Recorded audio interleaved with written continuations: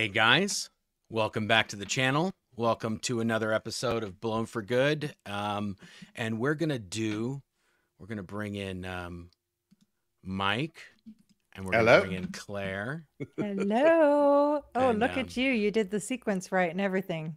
Oh, good, perfect. Yeah. Um, good. okay. Good work. let's see. Let's make sure that we're live. I have a little bit of a echo. I'm just gonna make sure that I'm good here. Oh my God. We're good though. I think we're good. no, I'm good. It's all Never a good dull now. moment over here on StreamYard, yeah. lo- right? Actually, there is a dull moment. It starts out dull. Yeah. Well, Like- we just Well, let me make sure the sound. People are showing up. Um, let's Nice. see. Oh, there we go. That was oh, it. look My at mic. that. that. Yeah, you got to Oh, have your mic within, you know, the same time zone, and then probably we'll hear you good. yeah, Aaron was stressing out wherever he is in the inter interwebs world. He's like, Your mic, your mic. Nice. We're like, we Oh, know. Mitch is here. Oh, yay. Goldie's here. Hey, I love you, Goldie. Liz Ferris. Look at all these people. Oh, got, like- yay. People here. Yeah, from a poet, Brian Lucas is here. We got someone from Canada. Oh, nice. Write a cram on Marc, please. I will. I got it, Mitch. Apostate Alex is here. Oh, really? Well, Yep. that's appropriate. Seeing as Oh, how Jeff Hawkins gonna- is here. I was going to say that's appropriate that Apostate Alex is here because we're going to take another one of his scoops to Mhm. start this episode with Yep. the the news that apparently Mr. Miscavige is going to be going to the IAS event in the UK on the 3rd and 4th of November. Ooh, he's crawling out of his hole. yeah, well, as I told Tony, there is only one place where I think that he would be willing to go and sort of re-announce himself on the world stage, Yep. at least the Scientology world stage. Which and is that- very which is more like a town or a you know, a village at this point. It's more like the world doormat. It's like standing on the doormat, not really the stage. But yes. the the UK is sort of unique. Um, I don't think he's going to show up to any um, ideal org openings where he has to be out on the street or going to an airport that he doesn't know. Uh, the UK is has got this pretty good setup of Saint Hill is uh, a fully enclosed property, sort of like the Gold Base, with a fence around it and a lot of security. So you can't really get in and out of there easily. And he can fly into Farnborough Airport, which is where the private jets land near St. Hill. And Farnborough is one of those airports where you can drive the vehicle up to the plane. And you step out of the plane off the the steps of the plane directly into a vehicle. Hmm. So there's no access to him and he doesn't have to sit in, you know, LA traffic where some process server might run up behind him and stop him on the way to the shrine. He doesn't have to get in and out of anything other than a plane at the LA at the US end, the plane arriving in the UK into a vehicle and then into St. Hill and he'll never set foot outside of St. Hill again until he goes back to Farnborough or wherever, I assume Farnborough, to get back on Tom Cruise's plane and fly back to wherever he flies back to. Nice. So- yeah, God, God forbid he'd have to confront and shatter any of us mere mortals. Oh, yes. Oh, yes. Confront and shatter is a, a term that has come to have absolutely no meaning in Scientology. Yes, Like, exactly. it never really did but at least back in back in the day there were people that sort of went out into the world and tried to stand up for scientology in some fashion or another you know i did it for a long time yeah. Heber did it a bunch of other people did it nowadays there's nobody except monique the Yeah. non-Scientologist, the non-Scientologist, right? What other billion-dollar organization has no public re- relations person who's even willing to say hello? Right. right. Anyway, I know I'm dominating this conversation. No, already, no, it's like okay. We're- do, we're- we haven't just- done a live with you in so so long that we're like, wow, let's We're let like, Mike talk for a little Mike bit. is I here. haven't I haven't really been very lively for a while. So I'm back to feeling lively again. So here I am Amazing. being live. We'll, Nice. we'll we'll be lively with you anytime you want.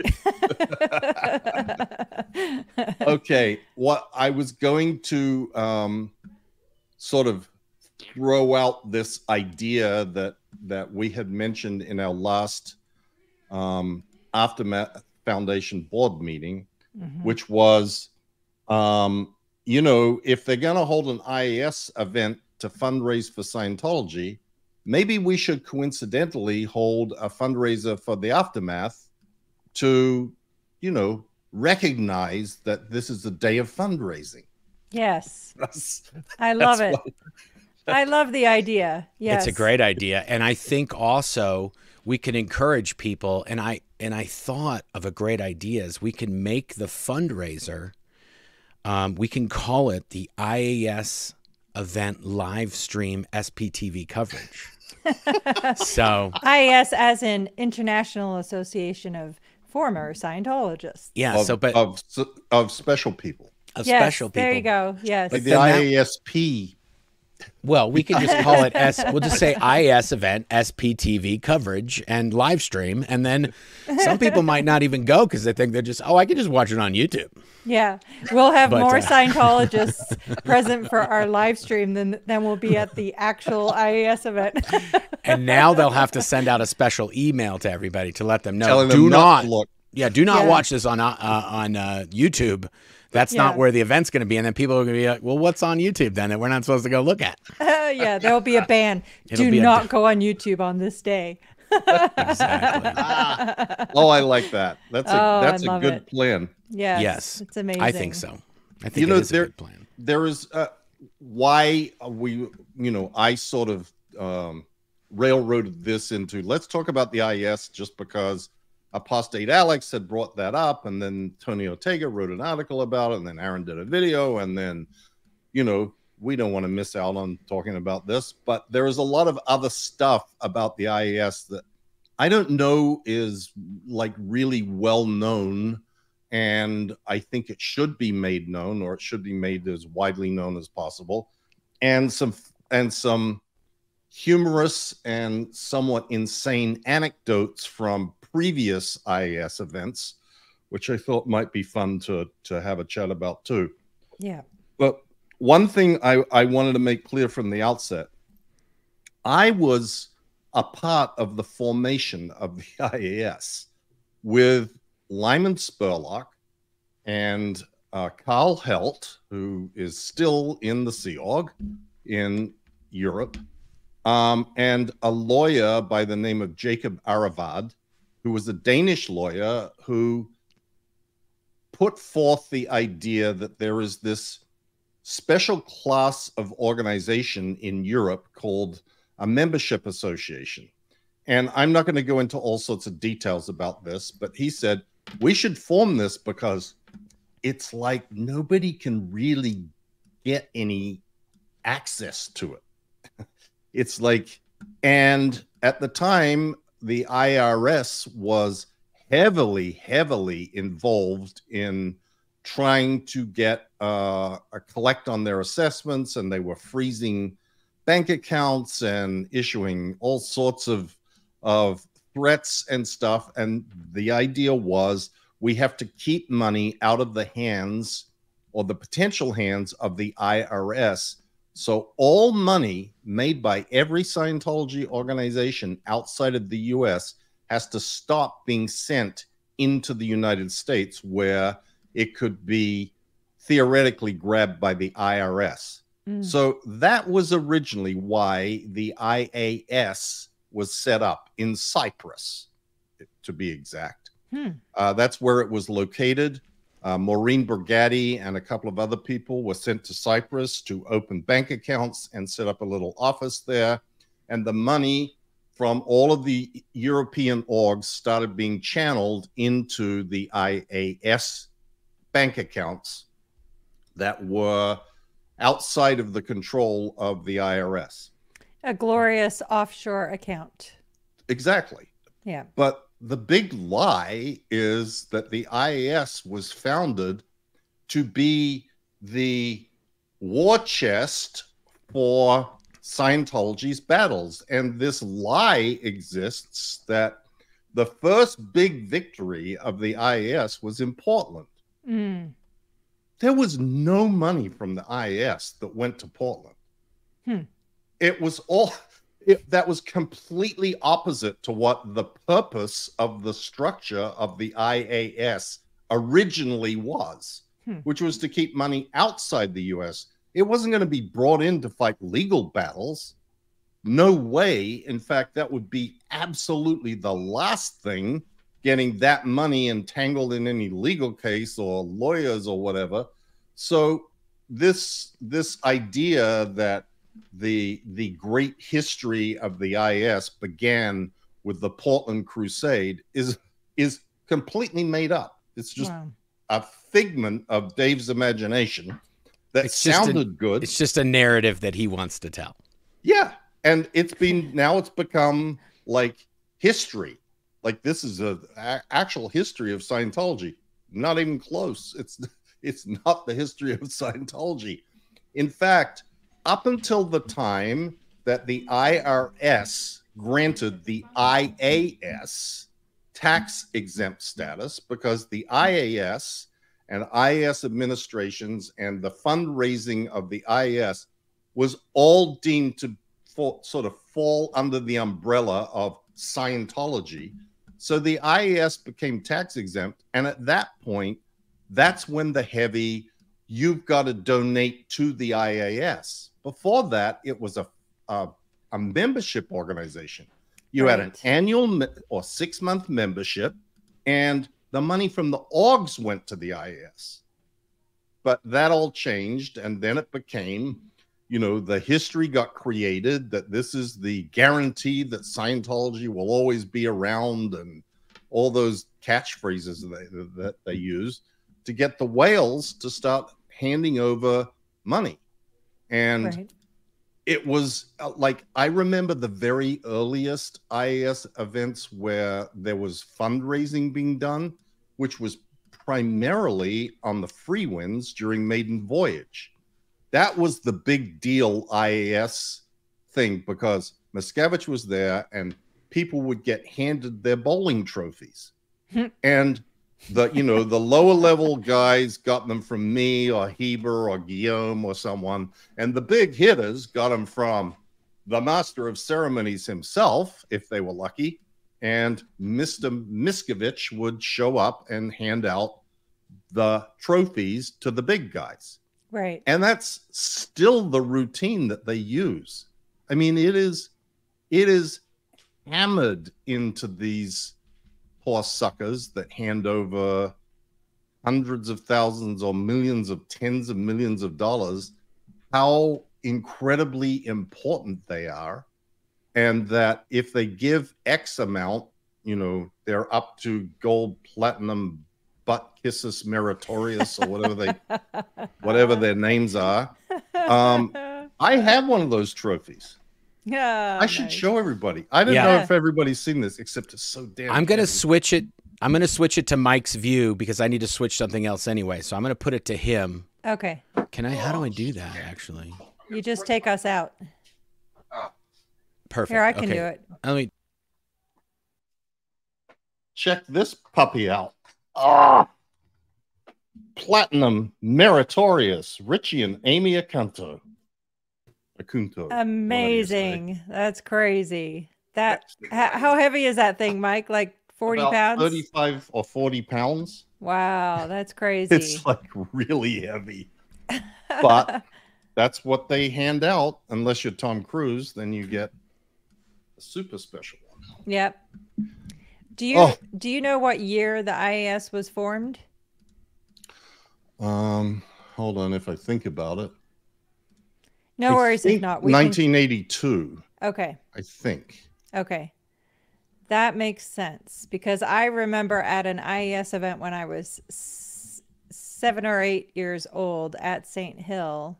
Yeah, so I think I was at probably the first IAS event ever at St. Hill. And I, believe it or not, got um, autographs from Guillaume and Marc Yager and Heber. Oh, Claire, I'll give you my autograph the next time I see you. Thank you. So you'll have the full. Oh man, there's so many great IAS event stories. Like, yes. I, Yeah. I just remembered another one when we were sitting here. The originally the IAS events, like the first IAS event was held in Toronto, Oh, wow. actually. Okay. And the awards were given to non-Scientologists, wow. to like religious leaders who were allies. Oh, I And- see. I think the third one was held in Lausanne. And Oh, nice. I I didn't go to Toronto. I went I think the second one was in Paris and I went to Paris but I didn't speak. Then I went to Lausanne and I think that was the first IAS event that I spoke at. But that event was memorable for Okay, the person one of the people that won the IS Freedom Medal at that event was a guy from Colombia uh, or Venezuela. And now his name escapes me. But he was brought up on stage and it was all like a big da da. Um, and he was presented his award. And then after the event, uh, it came to light that this guy was a complete crook. Oh, yeah. He was like doing some sort of gold gold trading or something and ripping off all the Scientologists. And a whole bunch of people had sort of come up when they saw him on the stage and went, This he ripped us blah, blah, blah, blah, blah. So it turns out that that what they were saying was true. So in at like 11 o'clock at night, Miscavige, Norman Starkey, me, Guillaume, and Heber, and whoever else was there, maybe Ray Mithoff, tracked this guy down in this hotel. And Miscavige took his medal back. Wow. And his name does not appear in any Oh of the gosh. like the old What is Scientology book has the names of all the IAS Freedom Medal winners. yeah. He's not in that, even though he was in the event and was given the medal. Yeah. David Miscavige rewriting Scientology history day by day. well, th- but Mi- Mike, do you remember what happened? It, this was much many years later, but do you remember when we shot the video for Lynn Irons? oh yeah, So we shot a video for this guy. He was the medal winner, and his name was Lynn Irons. And he happened to be the wasn't he the father of a Yes. int-based staff member? Not only Georgiana. any MBA staff member, he was the father of David Miscavige's personal steward. Yeah. Right. So we shot a whole video in Russia with this guy, and he had another guy named Bud that was sort of helping him do stuff and doing lectures with him and stuff Yeah. like that.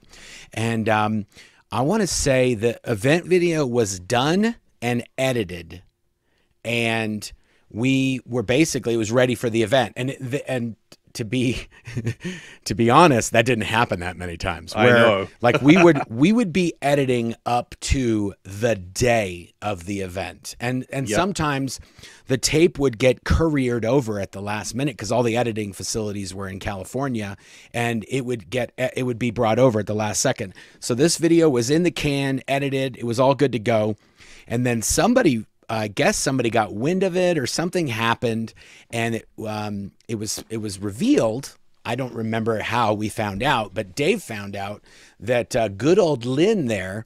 Um, the video was um, him um, getting Scientology into Russia and all of the work he was doing in Russia to spread Scientology all around.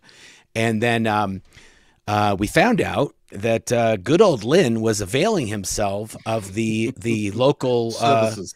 s- female services that you could get in Russia. Oopsies. And um, yeah, so we had to, we basically had to somehow salvage, and it was all about the video. That's really Right. what it was. Just we got it. We shot the video. The video's done. What are we going to do? So um, Dave ordered all of the footage to be gone through, and to figure out who's in more, who's the second Who the person second that's in most amount of the shots other than Lynn. And it was this guy, Bud, and his name was Bud Reichel. Reichel. And Bud Reichel, he became the Freedom Medal winner for that year because he was in more shots than anybody besides Lynn. And then I think they went and shot like a few things of him in the front of a, a, a course room or, you know, and do, doing a bunch of handing out some booklets or something like that. And they just spiced up the edit with him, changed the titles, changed the whole uh, interview. Oh, that was it. We did an interview with Bud for him to tell his story and how he'd been working on this for so many years and how it got to this. And he was the medal winner. And that was enough for me to go like, hmm, like this literally was all about Dave having a video that he could show people. It didn't really matter who did the work or what work was done. But um, so, yeah, there's definitely. And then the last thing I wanted to say is when we did the Tom Cruise award in 2004, um, there were already three medal winners for that year that we'd also already done all the videos for and shot and had them all ready. And then out of nowhere, Dave was like, uh, we're, we need to do a video about Tom. And then that I've done many, I've told that story many times. We might do a whole video just about that. But as soon as Tom was going to get a video, they were trying to figure out, well, would we do Tom last or would we do Tom first or how do we do that? And then Dave just decided, yeah, we're not doing those other three people. And the, they were just not medal winners anymore because Tom was going to get it. And if we were going to give the award to Tom, we didn't want anybody else to share the stage with him. It just was going to be Tom. Right. That static is really bad. Yeah, I heard that too. Oh, I don't hear Sound anything. check. It's you, Marc. Uh oh. Pretty sure. Oh, well, that's a bummer. There you go. Um, what? Yeah. Okay, I'm going to Yeah. take myself out. I'll join back in. You guys are good Okay. to go. okay, we'll just keep going. Alrighty. Yeah, th- there's so many IAS event and video stories. We could go on for a week. Yeah. Like I because I was always directly involved with them because for whatever reason I was the person that had to somehow figure out how the events were going to get done.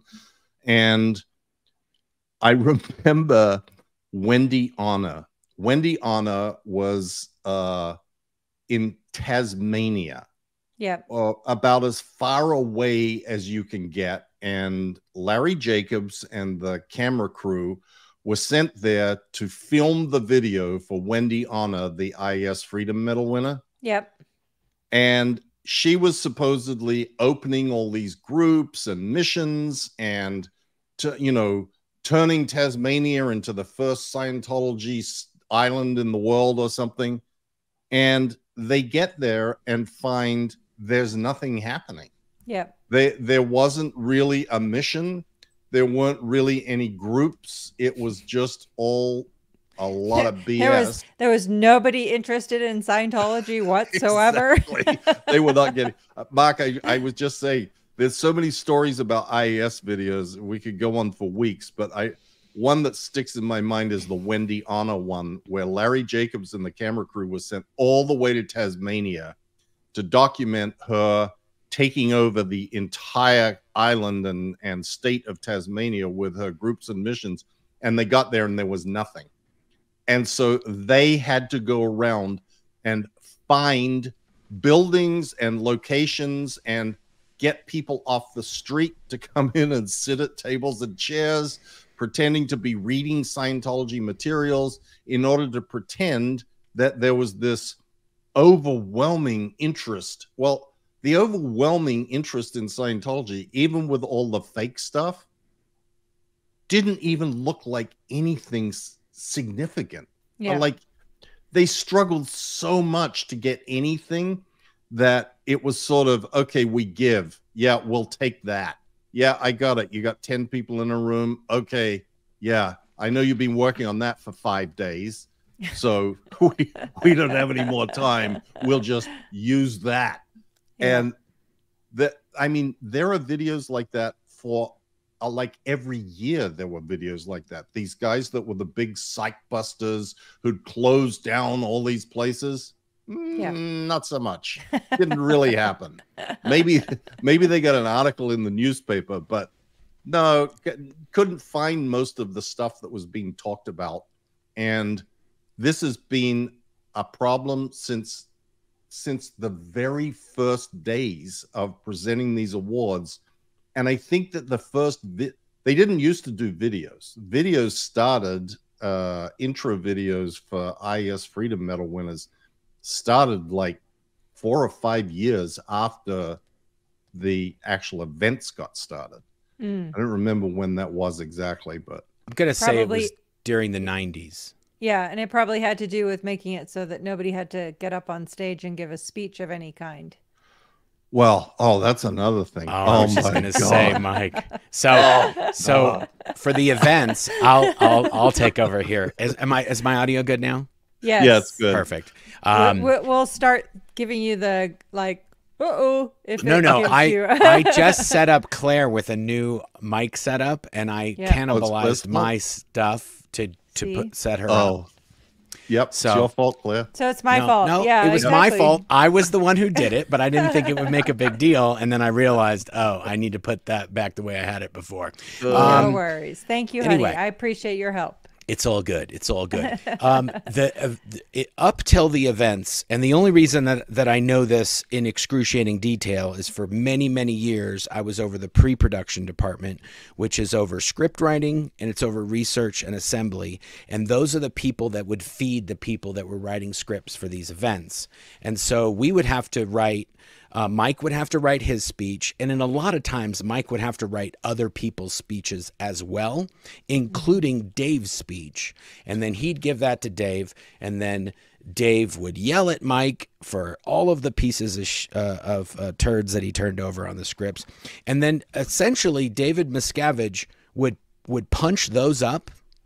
Or have somebody else punch them up, like a guy. What was the guy, the writer? dan name? sherman Dan Sherman. Have Dan Sherman punch good up old sherman speak and then give Yes. it back to Dave, and then Dave would punch up what what Sherman did, and then he'd tell Mike, "I had to redo the whole entire thing myself."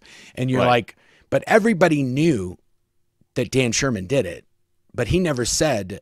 I had to have Dan Sherman fix it, and then I had to fix what Dan Sherman did. He would just say, I fixed everything. So when we would get to the event and somebody was going to get an award, uh, somebody would have to help that person write their speech because otherwise they'd say insane things that David Miscavige would be like, uh, "You, no way, you're saying that." So those speeches, and sometimes these people um, couldn't speak that great of English, or they couldn't speak any English, and then we had to get a translator, and then the translator had to go on the stage. It was just a giant, giant nightmare, and uh, and usually it would be the subject of great pain and agony for all of us that the, these speeches would have to get done. And now Mike would be the one who would usually he uh, you would mainly be like that um, the the run interference with that person, right? Because Dave's not Oh, talking yeah. to Dave's not Oh, talking no, to he- he any didn't of these people directly. peons. Yeah, No, no, no, no, no, no. This was, and and what would happen is the usually the the orders with respect to those people's speeches were that they haven't acknowledged COB adequately, that they're too long, Mhm. And that they um, aren't forwarding whatever the message was. Like if if it was ideal orgs were the big deal at the moment, they had to to talk about how amazing the ideal orgs were, even if it had nothing to do with them. They had to fit into the overall message of the event, so they'd be effectively they would be told what they were supposed to say and only authorized to say specifically they all had to be on a teleprompter Like Yeah. there were guys that were like didn't want to do a teleprompter because they didn't know how to do it and they was sort of scared of it and they wanted to have their little piece of paper. They were allowed to have their piece of paper if they insisted, but they had to have the teleprompter. Yes. You So- know what's re- you know what's really funny is that you said that thing about um, they had to thank COB. That became sort of for everything in all of Scientology to the point where if you went to a flag graduation and you completed a course and you came up on stage and did a and, and gave it like a little success story or something. The end of your success story was and i just none of this would have been possible without mr miscavige COBRTC, and of course to l. Ron hubbard. And you if you listen to any speech that anyone ever does on a scientology stage they will first thank david miscavige and maybe sometimes they would also thank LRH. But no matter what, they are thanking David Miscavige, chairman of the board, Religious Technology Center, for everything he does, and it's it's baked in to every single speech. Mike, you have? Do we still have those event videos? We had Yes. those for. You still have some the videos, Oh, the yeah, yeah, actual yeah. videos. Yeah. I was thinking at a certain point we could do a supercut, like we could edit one down and chop it up, and then just do a reaction. We couldn't do a reaction video to a whole event because they're two hours long. But if Right. we, but if we chopped out chopped out all the fluff and maybe did a supercut of it, and then we could just rip through it and we could comment, it still would take forever. We might. Uh, I would love to do it though because you could see and it would be a really good example if we could do it before this IAS event. It would be amazing. But the amount of just flat out lies that are in these videos, like oh, I know. they were playing um, Aaron Smith Levin, and I want to say it was either Mitch or Rachel, or um, it was Rachel and Mitch that did a video, and they played one of these videos about how many they're reaching this and they're doing that. Oh and yeah, it- yeah, yeah. The it said they had- thunder. Yeah, it said they had millions of groups and missions in this thing, millions. And I was like, wow. whoa. And th- I mean, these are from 2017 or 2018. These are more recent things, but they've only shrunk since we left. There's there, there hasn't got they have not had one statistic in Scientology go up since the, the early 2000s, really. Since the 2000s and Well- even since 1996, the stats have been Square going. square footage of owned buildings has gone up. Yeah, Uh, empty dollars buildings. in I mean- reserve, uh, tax exempt dollars that the IRS hasn't audited has gone up. but they literally they haven't gotten more people. They haven't Number set of up more. up families has gone up. It yeah, that's yeah. true. But that's Yeah. not a stat they keep. There's some up stats. but either number way, of number of channels on SPTV has definitely skyrocketed. That's gone up. yeah, boom. Inches of entheta media. That's gone up.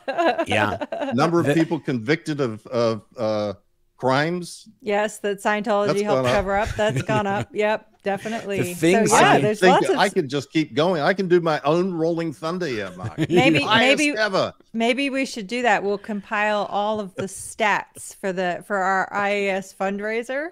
Oh Well, yes. we should. We could Good do idea, awards Claire. too. We could do Yes, awards too. Yes. Oh yeah. We could do a whole award show. We could do a whole IAS event.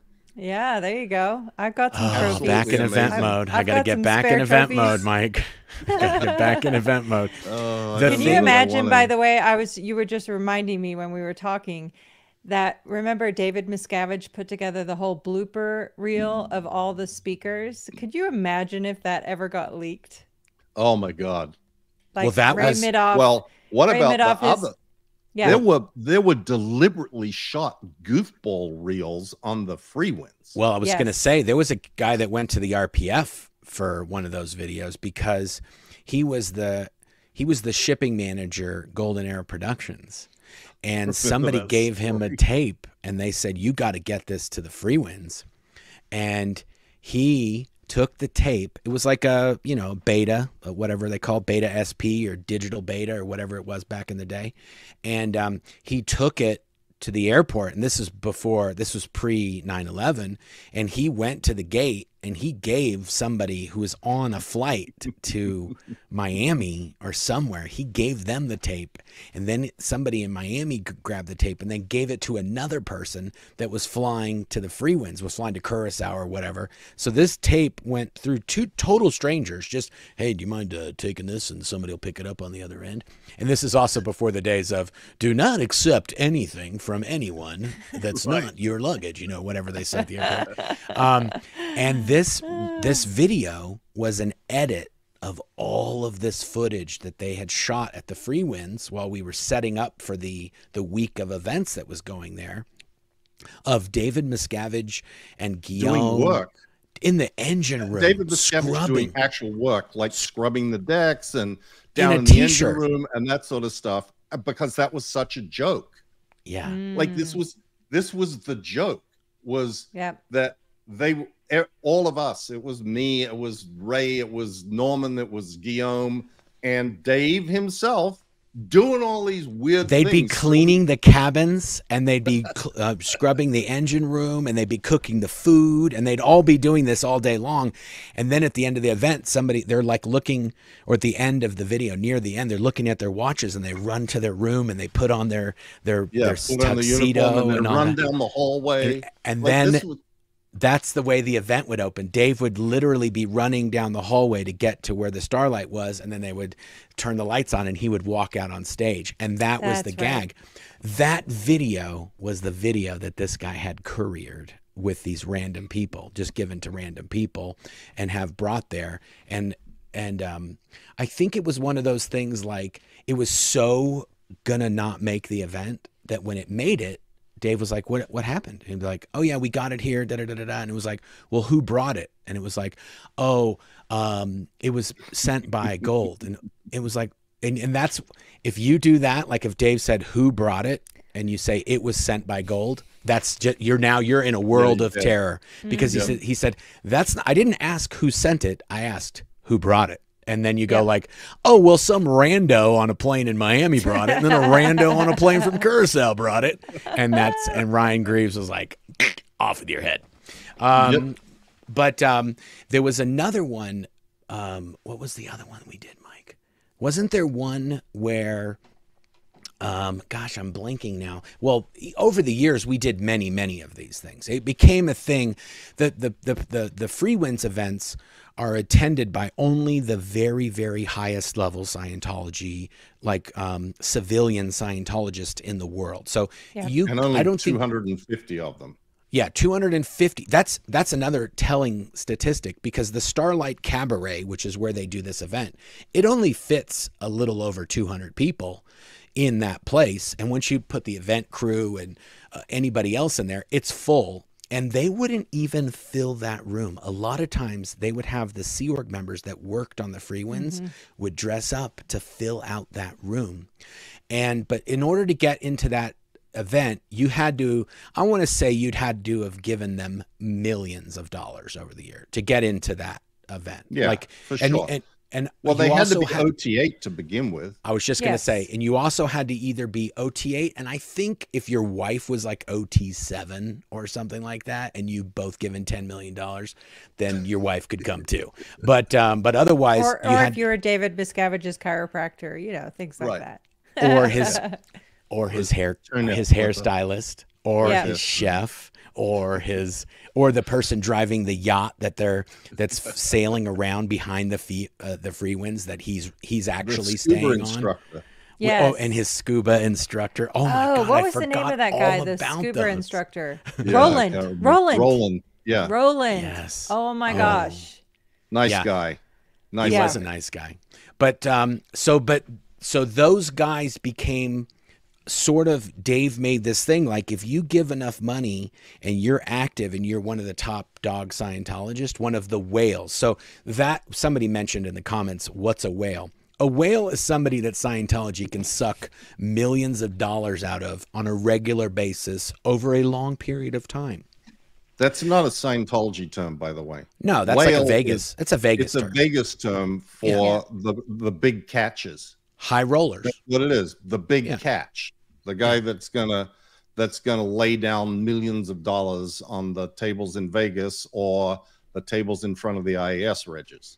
Yes. Except in Scient- in Scientology, in the world of Scientology, that guy's not getting his room comped or free buffets or uh, a couple of uh, a couple of uh, n- Or ladies of the night sent up to his room. bar, you're not getting yeah, you're not getting any of the perks a normal whale gets. You're just getting harpooned on a regular basis. That's the only thing that's happening in Scientology. Until Well, the day You, you, get handed one of those bowling trophies. There you well, go. yeah, but those also the the bigger the trophy, the more millions you've donated. Oh yeah, um, that is probably you're right, Mike. That may be the only perk you get is you get a trophy. That that's the one thing you don't actually. There's not a transactional. Do they have to pay for the shipping to wherever they live? I wonder. If they no idea. I doubt it. That's But- a but- great question. But what they really do get is status. And yes. Status for public Scientologists is the most coveted thing in Scientology. Whether that be uh, a certificate that says they're an OT8, even though they may be the most incompetent, uh, socially inept person on the planet, if they've got a certificate that says they're OT8, they got big status in Scientology. If they, it used to be that if you had a certificate that said you're a class eight auditor, that that was a big status in Scientology, but that's not much. I mean, they're not even a class eight or a class six course anymore anyway. But these days, being an auditor in Scientology is like it's not really treated with much respect. It used to be the thing. Nowadays, it's a nothing. It's a, it's a big old nothing burger. You, being yeah, you, you bring up a really good point there. So actually, the bridge to total freedom is shrinking. Well, it has certainly shrunk under David Miscavige. yeah, The left side has just literally uh, evaporated. right. Like Well, they cl- halfway down. Yes, They, it- guys, they it didn't. Nothing changed. It, it just closed one of the lanes. That's all. There was two lanes. that's a big deal when one. you don't have a. It's Dave's repaving it, and he's just been repaving it for It's twenty or thirty slow. years. Yeah, It's just a little slow. he's diverting it to Yeah. more trips to your bank account. Yeah, and it's definitely not air, air- earthquake safe because No. SPTV has proven, and we're shaking that bridge up pretty good from this end. So. But those Okay, people I- got accustomed to being kind of privy to this secret info that Dave and the briefings that he would give. It was just to them. They weren't even allowed Right. to tell anybody about some of these things because they were sort of like behind the scenes stuff he's working on. And Yeah. then and then when it came out, they'd be like, "Oh yeah, Dave talked about this 17 years ago at a at a Yep. uh, maiden voyage event because he announced the golden. They have this thing called the golden age of tech. He announced that on the Freewinds at one of these events. It didn't come out for five, six years after that, and, oh, and- or the and golden the- age of tech two, or the e meter he showed the them. e meter. He, He showed, showed that them the thing like e-meter. six years before it eventually came well, out. he mm-hmm. showed it to them. Gosh, I want to say. Well, he showed it to them, or he told them about it in 1996 when the golden age of tech was coming out. He told them, "We even have a new meter coming that you're is going to blow your mind." And I want to say that meter blew their minds about 2007, like a decade later is when it blew their minds. And it was literally, I'm pretty sure when people saw it, they're like, "We waited 10 years for the Easy Bake Oven 2.0." Like, what the hell? And it had been built for that entire 10 years, just sitting on the shelf. Sitting in the shelves. They yeah, had to have an all hands to dust them off before the re- the event That's true. announcement. Yep. True. Yeah. Okay, I've got I've got another IAS story that I I remembered. Yes. Seeing as how we're on the IAS theme here. Yes. Okay, 2011. Obvious. I mean, 2001. Obviously, September 11th happened on September 11th, and you know, if you were around at that time, you will recall that you know for two days or three days there was no air travel in the United States whatsoever, and for some time after that, uh, there was enormous amount of of hand wrenching and worry about you know what's going to happen because all of the TSA stuff wasn't in place. The, you know, that was back in the day where you could run up to a plane as it was about to take off and bang on the door, and they'd come and open the door and let you on. Mhm. And the, you didn't go through metal detectors, you didn't do anything. Um, of course,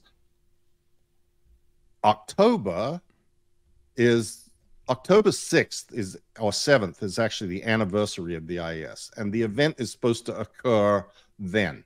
It constantly gets pushed later and later for reasons that you may now understand because we need more time to get the videos done and we need more time between auditors day or whatever this or the grand opening of that. So we're going to schedule it. So now it generally gets done in the beginning of november but back in 2001 it was going to be in in october.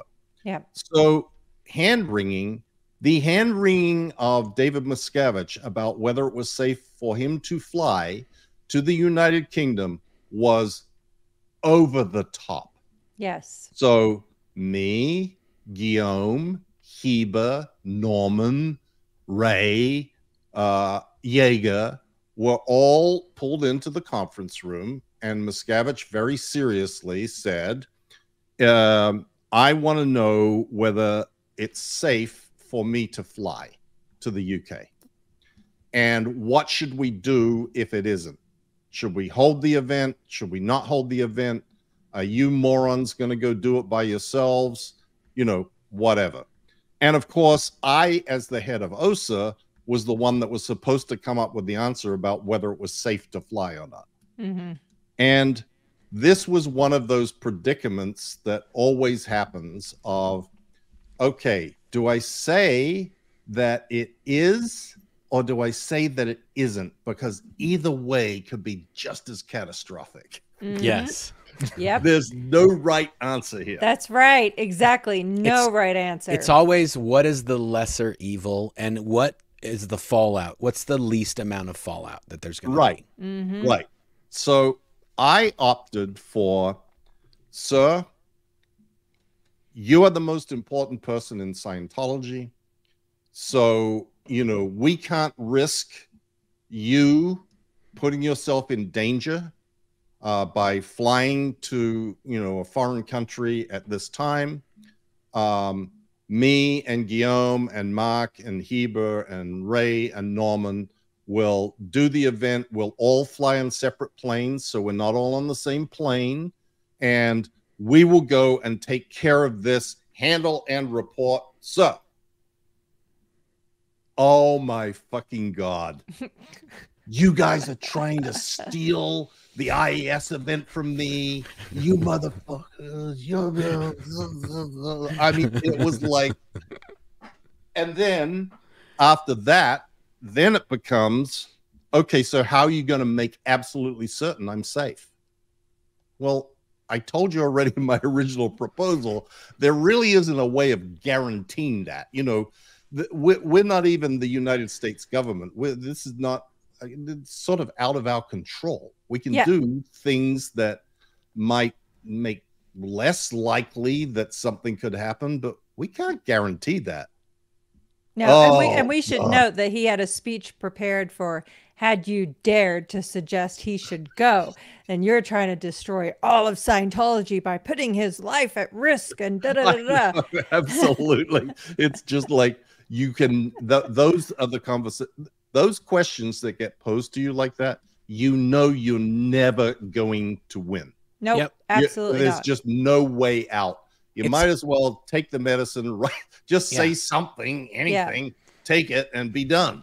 It's So- actually any question that he asks is that way. He could ask you what you ate for lunch yesterday, and you could end up on the RPF at the end of that conversation. Yeah. And by the way, Mike, I don't think you know that for this particular event, I was the one that ended up having to sign the purchase order to authorize $50,000 for his f- charter flight to the UK. Oh yeah, that that was what ended up happening. I think that was the first first time that there was ever a private jet used to transport speakers to or a speaker to an international event. Right. It became pretty routine after that. But yeah. I can tell you from the finance end, that's is, that's exactly what happened.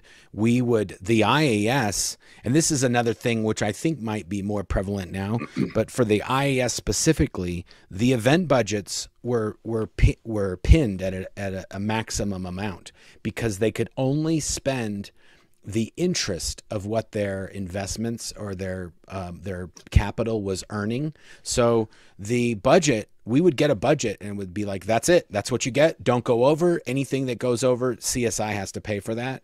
And one of the things that we started to have to cover was jet fuel in that event because he was there. were- I don't know how it ended up when you were there last, Mike, but he would either take.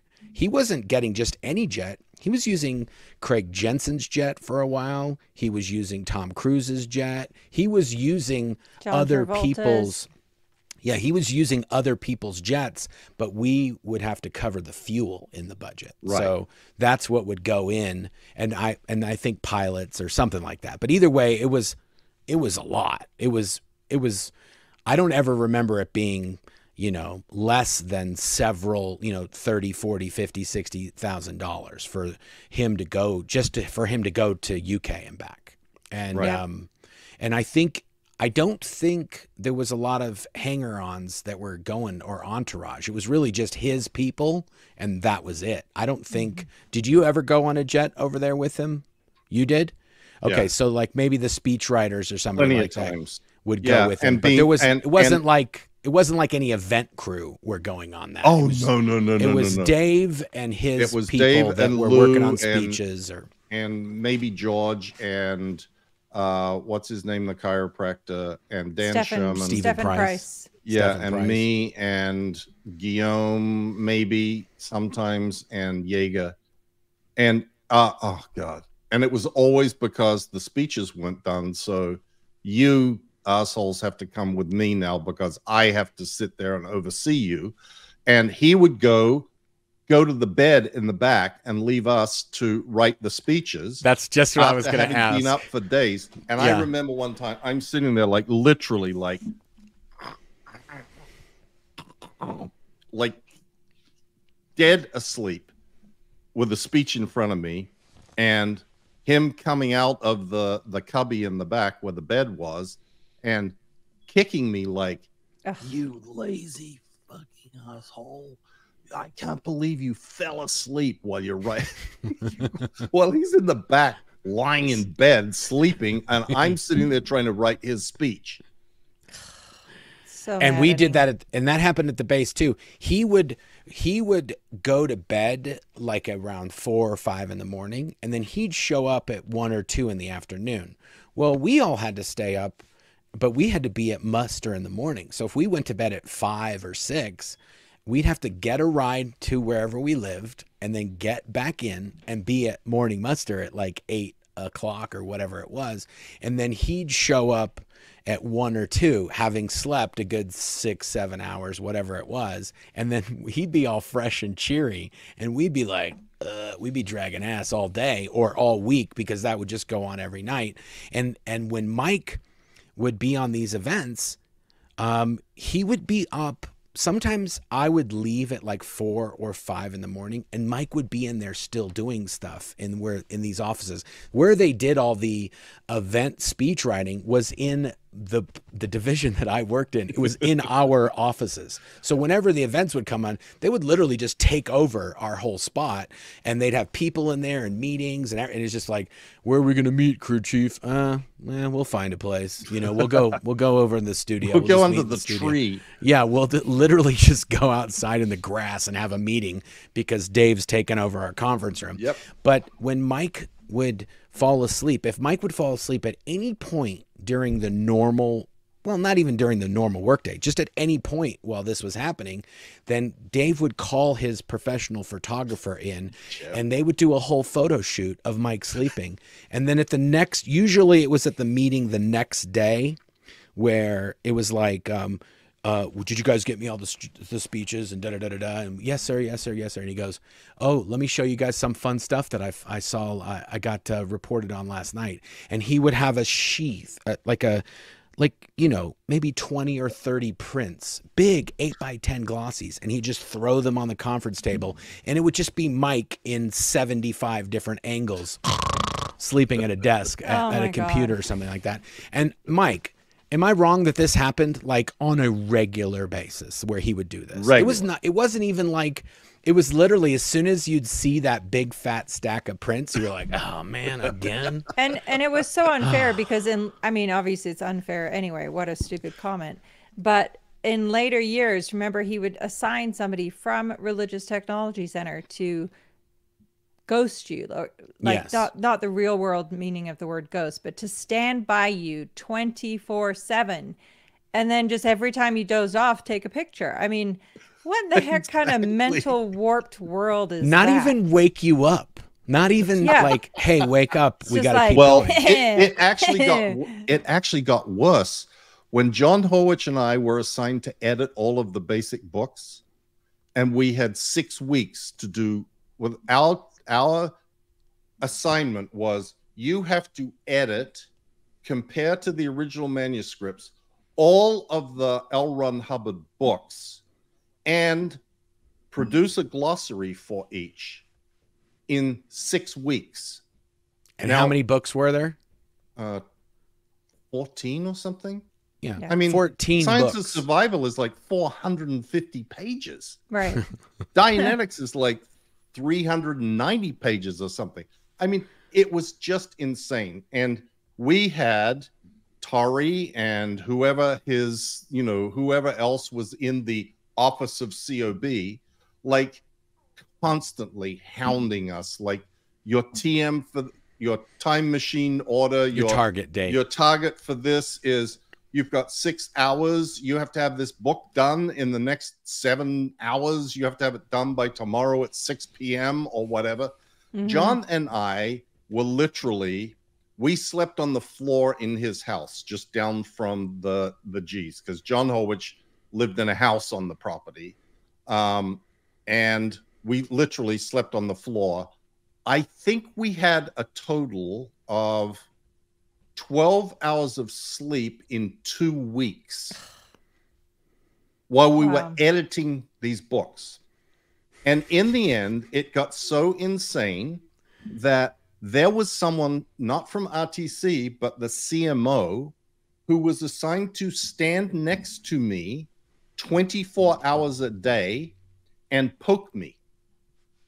If I started looking like I was dozing off, I had to be poked Mm. to keep me awake so that I could edit the most important texts in the entire universe in the history of mankind with no sleep yeah with absolutely no sleep. I mean, 'Cause- it was because that's like- not going to be there's not going to be any errors in any of your work Oh, that no, no, uh, no. i mean that would be perfect. that would be oh my incomprehensible gosh and that brain is hurts just inevitably what would happen this. these guys would submit it and then he would be like this is wrong and this is wrong. It would it would never it was almost like you know at the end of doing all this work it's not going to be done. It's just going to No. Right. be everything that he wanted from the beginning that he didn't tell you is now what you're going to do. And that was ultimately what was sort of the game that he played. He would be like you do it are you going to make me tell you what to do? And then you would, no, sir, no, sir, I'm going to do it. I know exactly what to do. And then you do it. And then he would be like, no, you failed. This is what I want you to do. And it, and it was almost like, why don't you just tell us what you want and we'll just do that other than just checking every possible other thing that could be messed up in this book that was written 50 years ago by a, a old fuddy duddy that was just like to blabber on endlessly. but but not only that, Marc. The the next phase of every one of those things was he would grab someone else and say, "Now this person is going to do this." Oh, I remember at that uh, time, Rick Cruzen was the guy. Who you had were been the on the guy. rehabilitation John project Horwich was the by the guy. Marty was the guy. There was like seven guys, and none of them. This is the best part ever. Not one single one of these persons was it was their job to do what he was asking. It was- Right. Right. like the guy that's the head of OSA is now editing books. That Rick Cruzen, the only qualification that Rick Cruzen had was that he was on the RPF and he didn't do a lot of auditing, so he read all the books. And because he'd re- read all the books, he was now qualified to now edit what L. Ron Hubbard had written. He was So he was, was- one of you're the right, though. It was always another- that property who had read all of the books. I know. and it was like that it was like that for anything. For whenever there was a thing like that you'd see a new person show up and you're like what are you doing here? And be like oh i'm in charge of getting uh the new uh the new course done like this. And you're like you're gonna do that? And be like yeah David, COB assigned me to do it. He'd be like, "Oh, this is gonna end well. You're gonna be cleaning paint buckets for me in a few weeks. That's what's gonna happen." and and the number of people that were brought in from outside the base to do this sort of shit and ended up exactly the same as everybody else. You know, the Russ Bellins and the Debbie Cooks and like Rita. every Rita Remember Rita Weinberg, for a while? No, no, of Rita from um, Rita Schwartzgruber. Schwartzgruber. Oh, Yeah, all all yes. these these people- people brought in to handle these projects because all of the incompetent SPs at Gold and Int couldn't do it.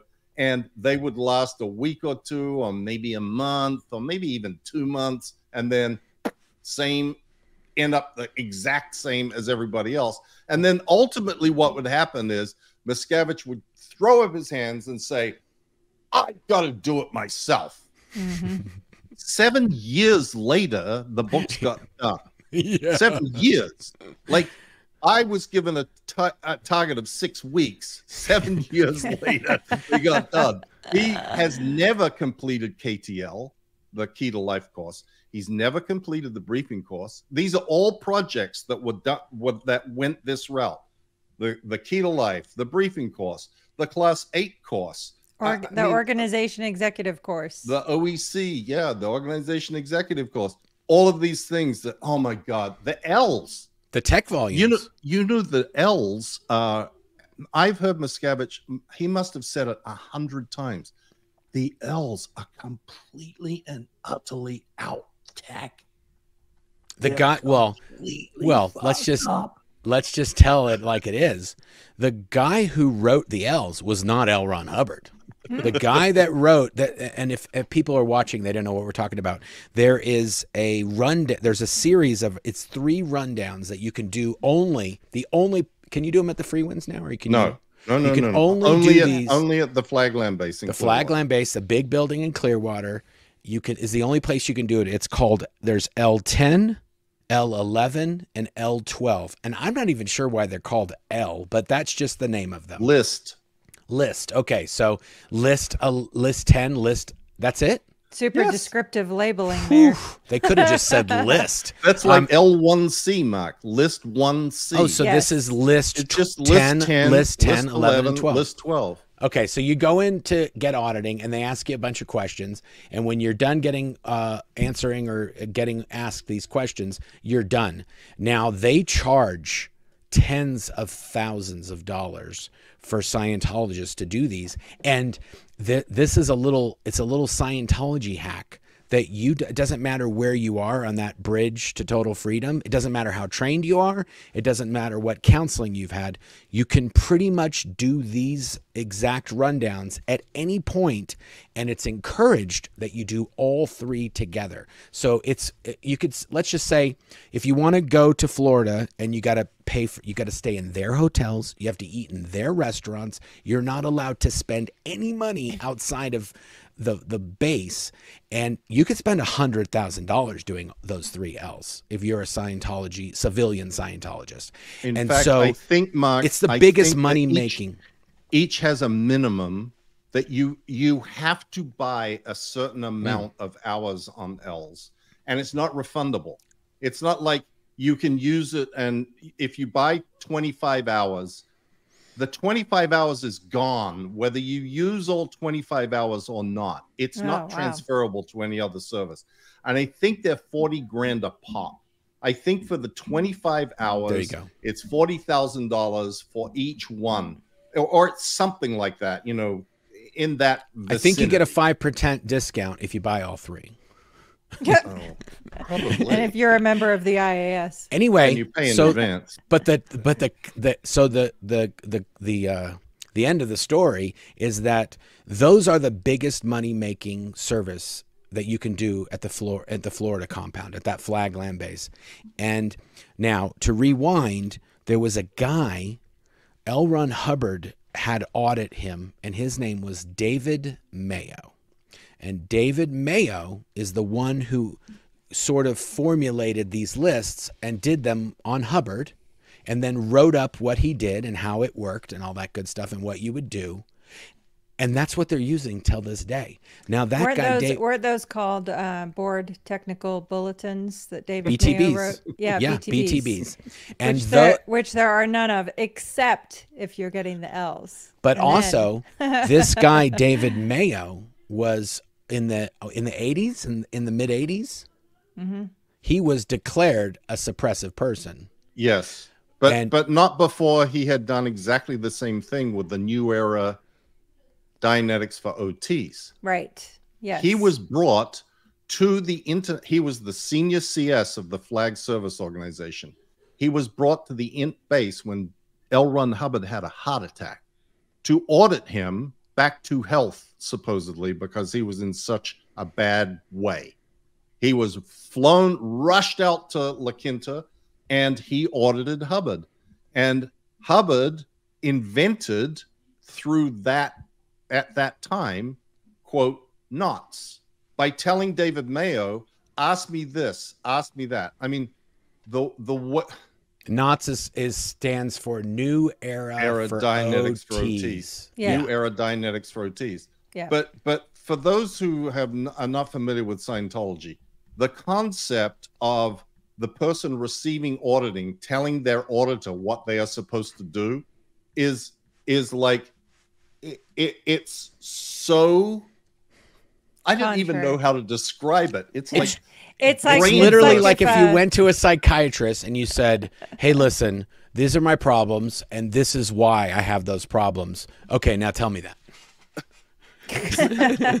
or it's like somebody uh you know a worse. civilian telling a police officer here's what here's what law you need i'm following and you need to arrest me on. right Yeah. exactly yeah I, I mean, it's it's even beyond that. But in Yeah. any event, so the same thing happened again, where David Mayo was the one who was doing this, and why he had been brought there in the first place. I mean, there's so many stories about these. Anyway, things. David Mayo was declared a suppressive, and he was kicked out of Scientology. But worse than a suppressive, the issue goes on and on and on about Isn't it him like being seven squirrel. pages or something no, like that? about how he alterizes technology and he perverts the technology and he twists the technology and he does this and he does that. and, uh, and for the longest time, all of the NOTs materials were all David Mayo materials. right Until Dave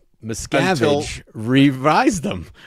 Yeah. and they, they they they didn't go back. They didn't just say, "Oh, they got to go back to the way they were." No, he changed them another time so that they are David Miscavige's version. But the best part is that the L's have never ever been fixed to this day. They've never not been written by David Mayo and they are the biggest money making income that Scientology gets through Scientology counseling and or that sort of thing. Now they just take, you know, they just get they take money of, from old people or they from elderly or they just um, people donate, you know, ten million dollars and they don't do anything except for give them one of those bowling trophies that Mike has.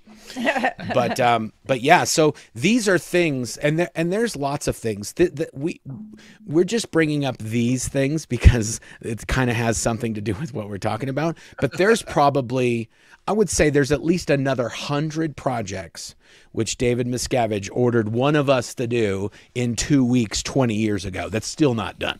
And um but um and he th- there's i want to just say one last thing and this is what i was thinking of earlier there it, we, when david miscavige is taken to court He doesn't have anything to do with anything. He's just overseas, and he's the guy who's like the president of Scientology. He's just a figurehead, and um, and his job is really just to to take care of Religious Technology Center. And every organization has its own head, and they all do their thing, and they're all doing their thing.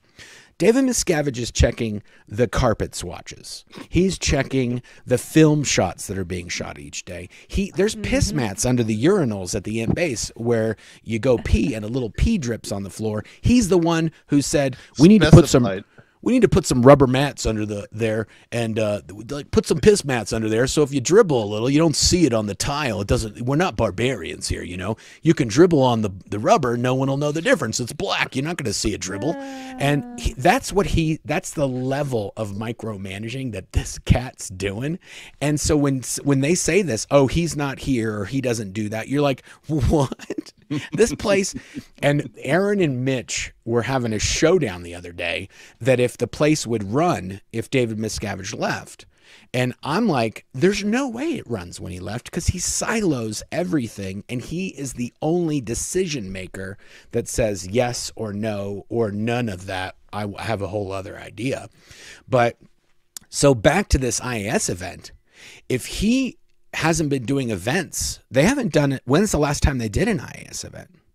It's been years, Um, right? 2019, I guess. Uh, So Yeah, right, right. So 2019. I don't think you're you're allowed to say that word, by the way. Um, you can call it scamdemic or you can call it anything else, but I don't think YouTube likes that word. Are you serious? yeah, or don't say the c word either with the the number after it. Yeah, no, I think Really? that Oh pretty my sure. Yeah, Wow. I've seen it bleeped Somebody in other needs to- videos. I've seen it bleeped in other videos. That could just be overcautiousness on those uh, uh, creators' parts. Which but reg- C word? the, um, anyway, Great question, Mike. Good one. you know the one. Don't make me say it. Um, anyway, Mark almost walked right into that. so the, if they if they so 2020 21 22 Ugh. so it's been three years four three depending on how you count it they haven't done one in at least there's been three events that didn't happen and all the other events they do seven depending on how you count them up they do seven to 12 of these events every year and the ias event is just one of those and it's and Mike mentioned they did it in France, and I was at a, a I, I I actually put on one of the events um, that they did in Denmark. I think Yeah, they used one to in have Denmark. them. They used to have them in in a different European country, and then sometimes in the United States. And then I think after the War is Over event, which was in 1993 at the uh, Los Angeles uh, Sports Arena. Rest in peace, Sports Arena. Um, that they tore it down; it's not there anymore. Um, oh, but um, the, I think from 1993 on, it was always at UK.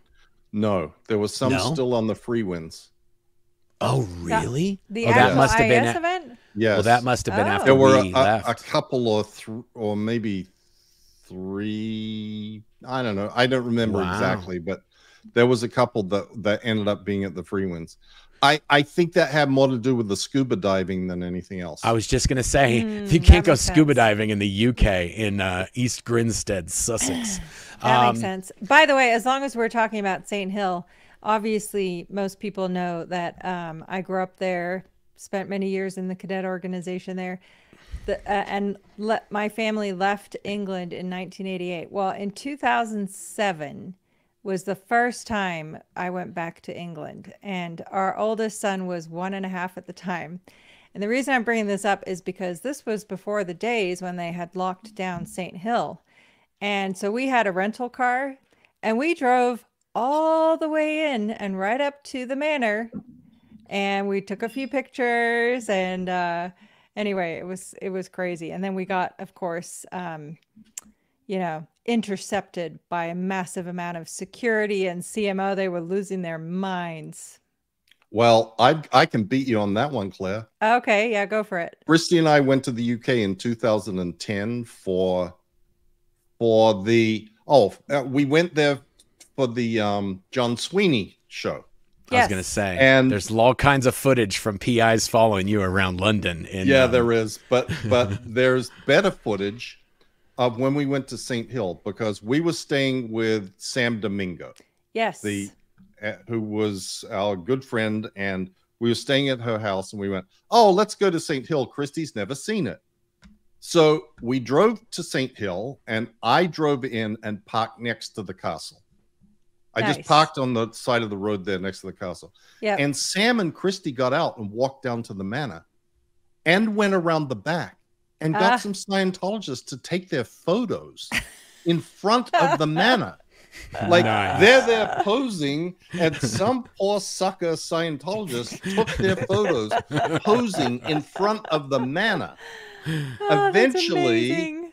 Eventually, the legal dur of OSA UK realized that it was me sitting in the car and came up and insisted that I leave.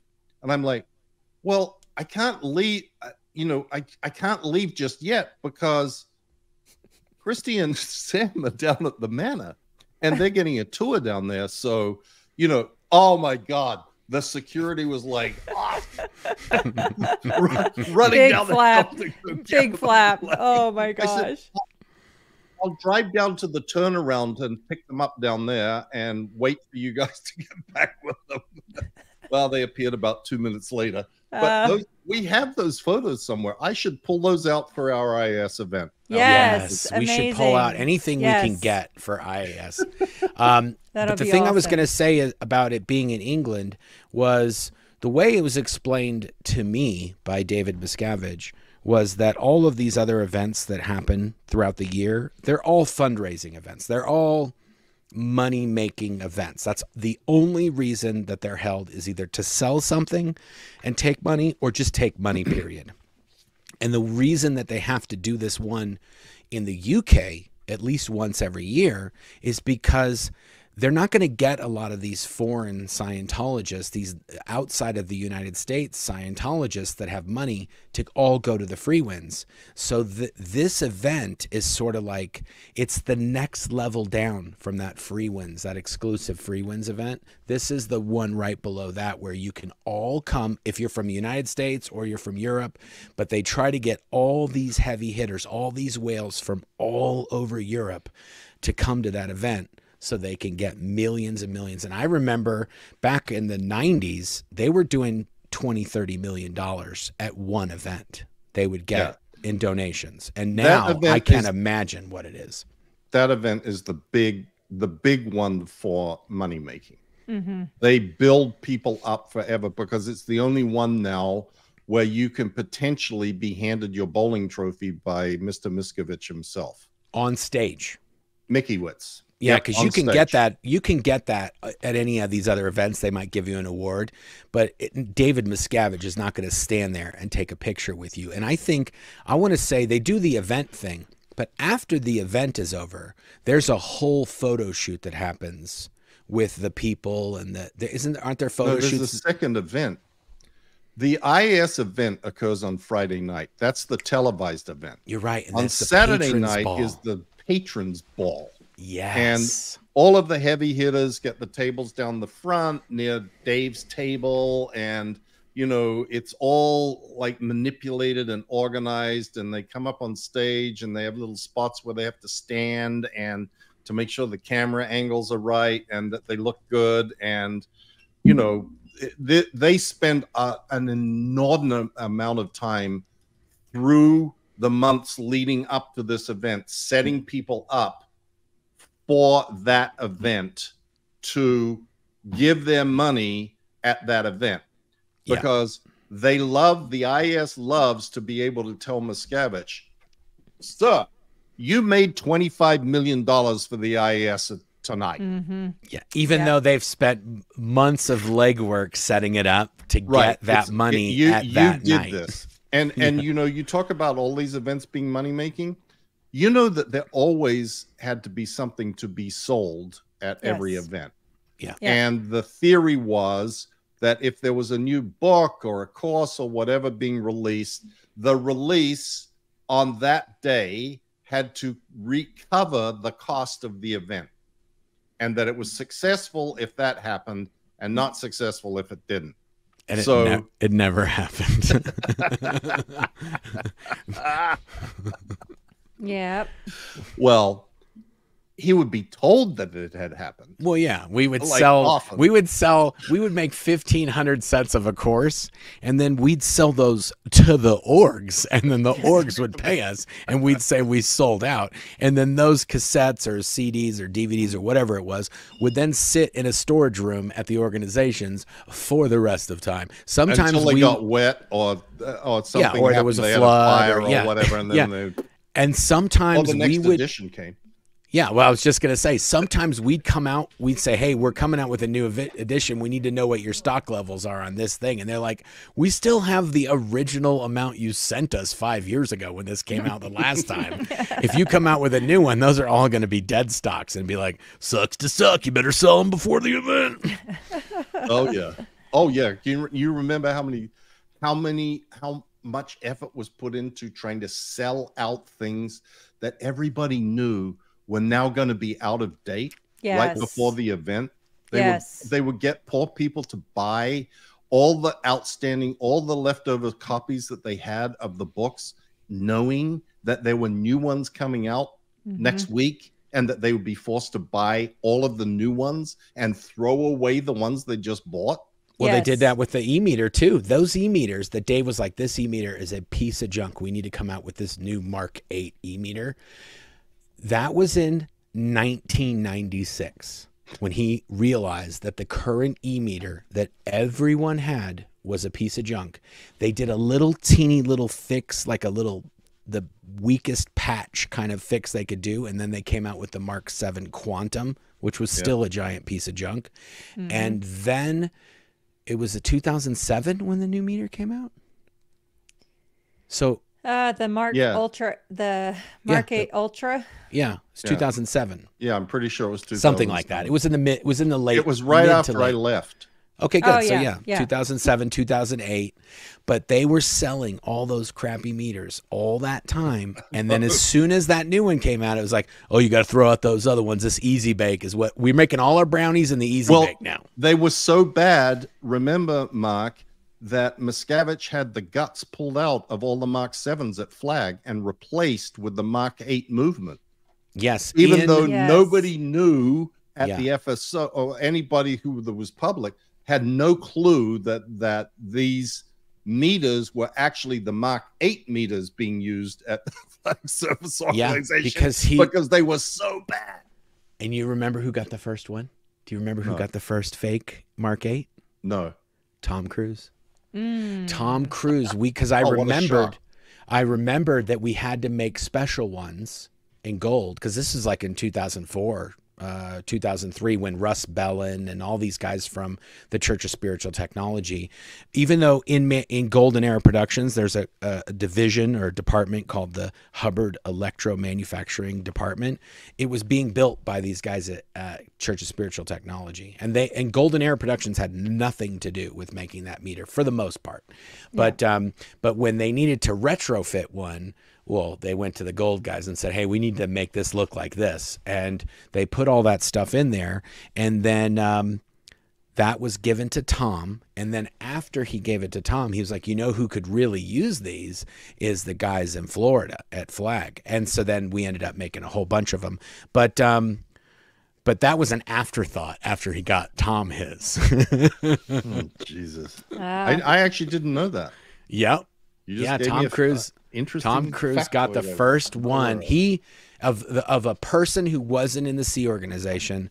uh, Tom Cruise was the only just regular public uh, civilian uh, Scientologist to have a Mark Eight. You know, whatever it was. Five, Yeah, f- there- four or there's a- five years before they came out. I'm sure it helped him a great deal.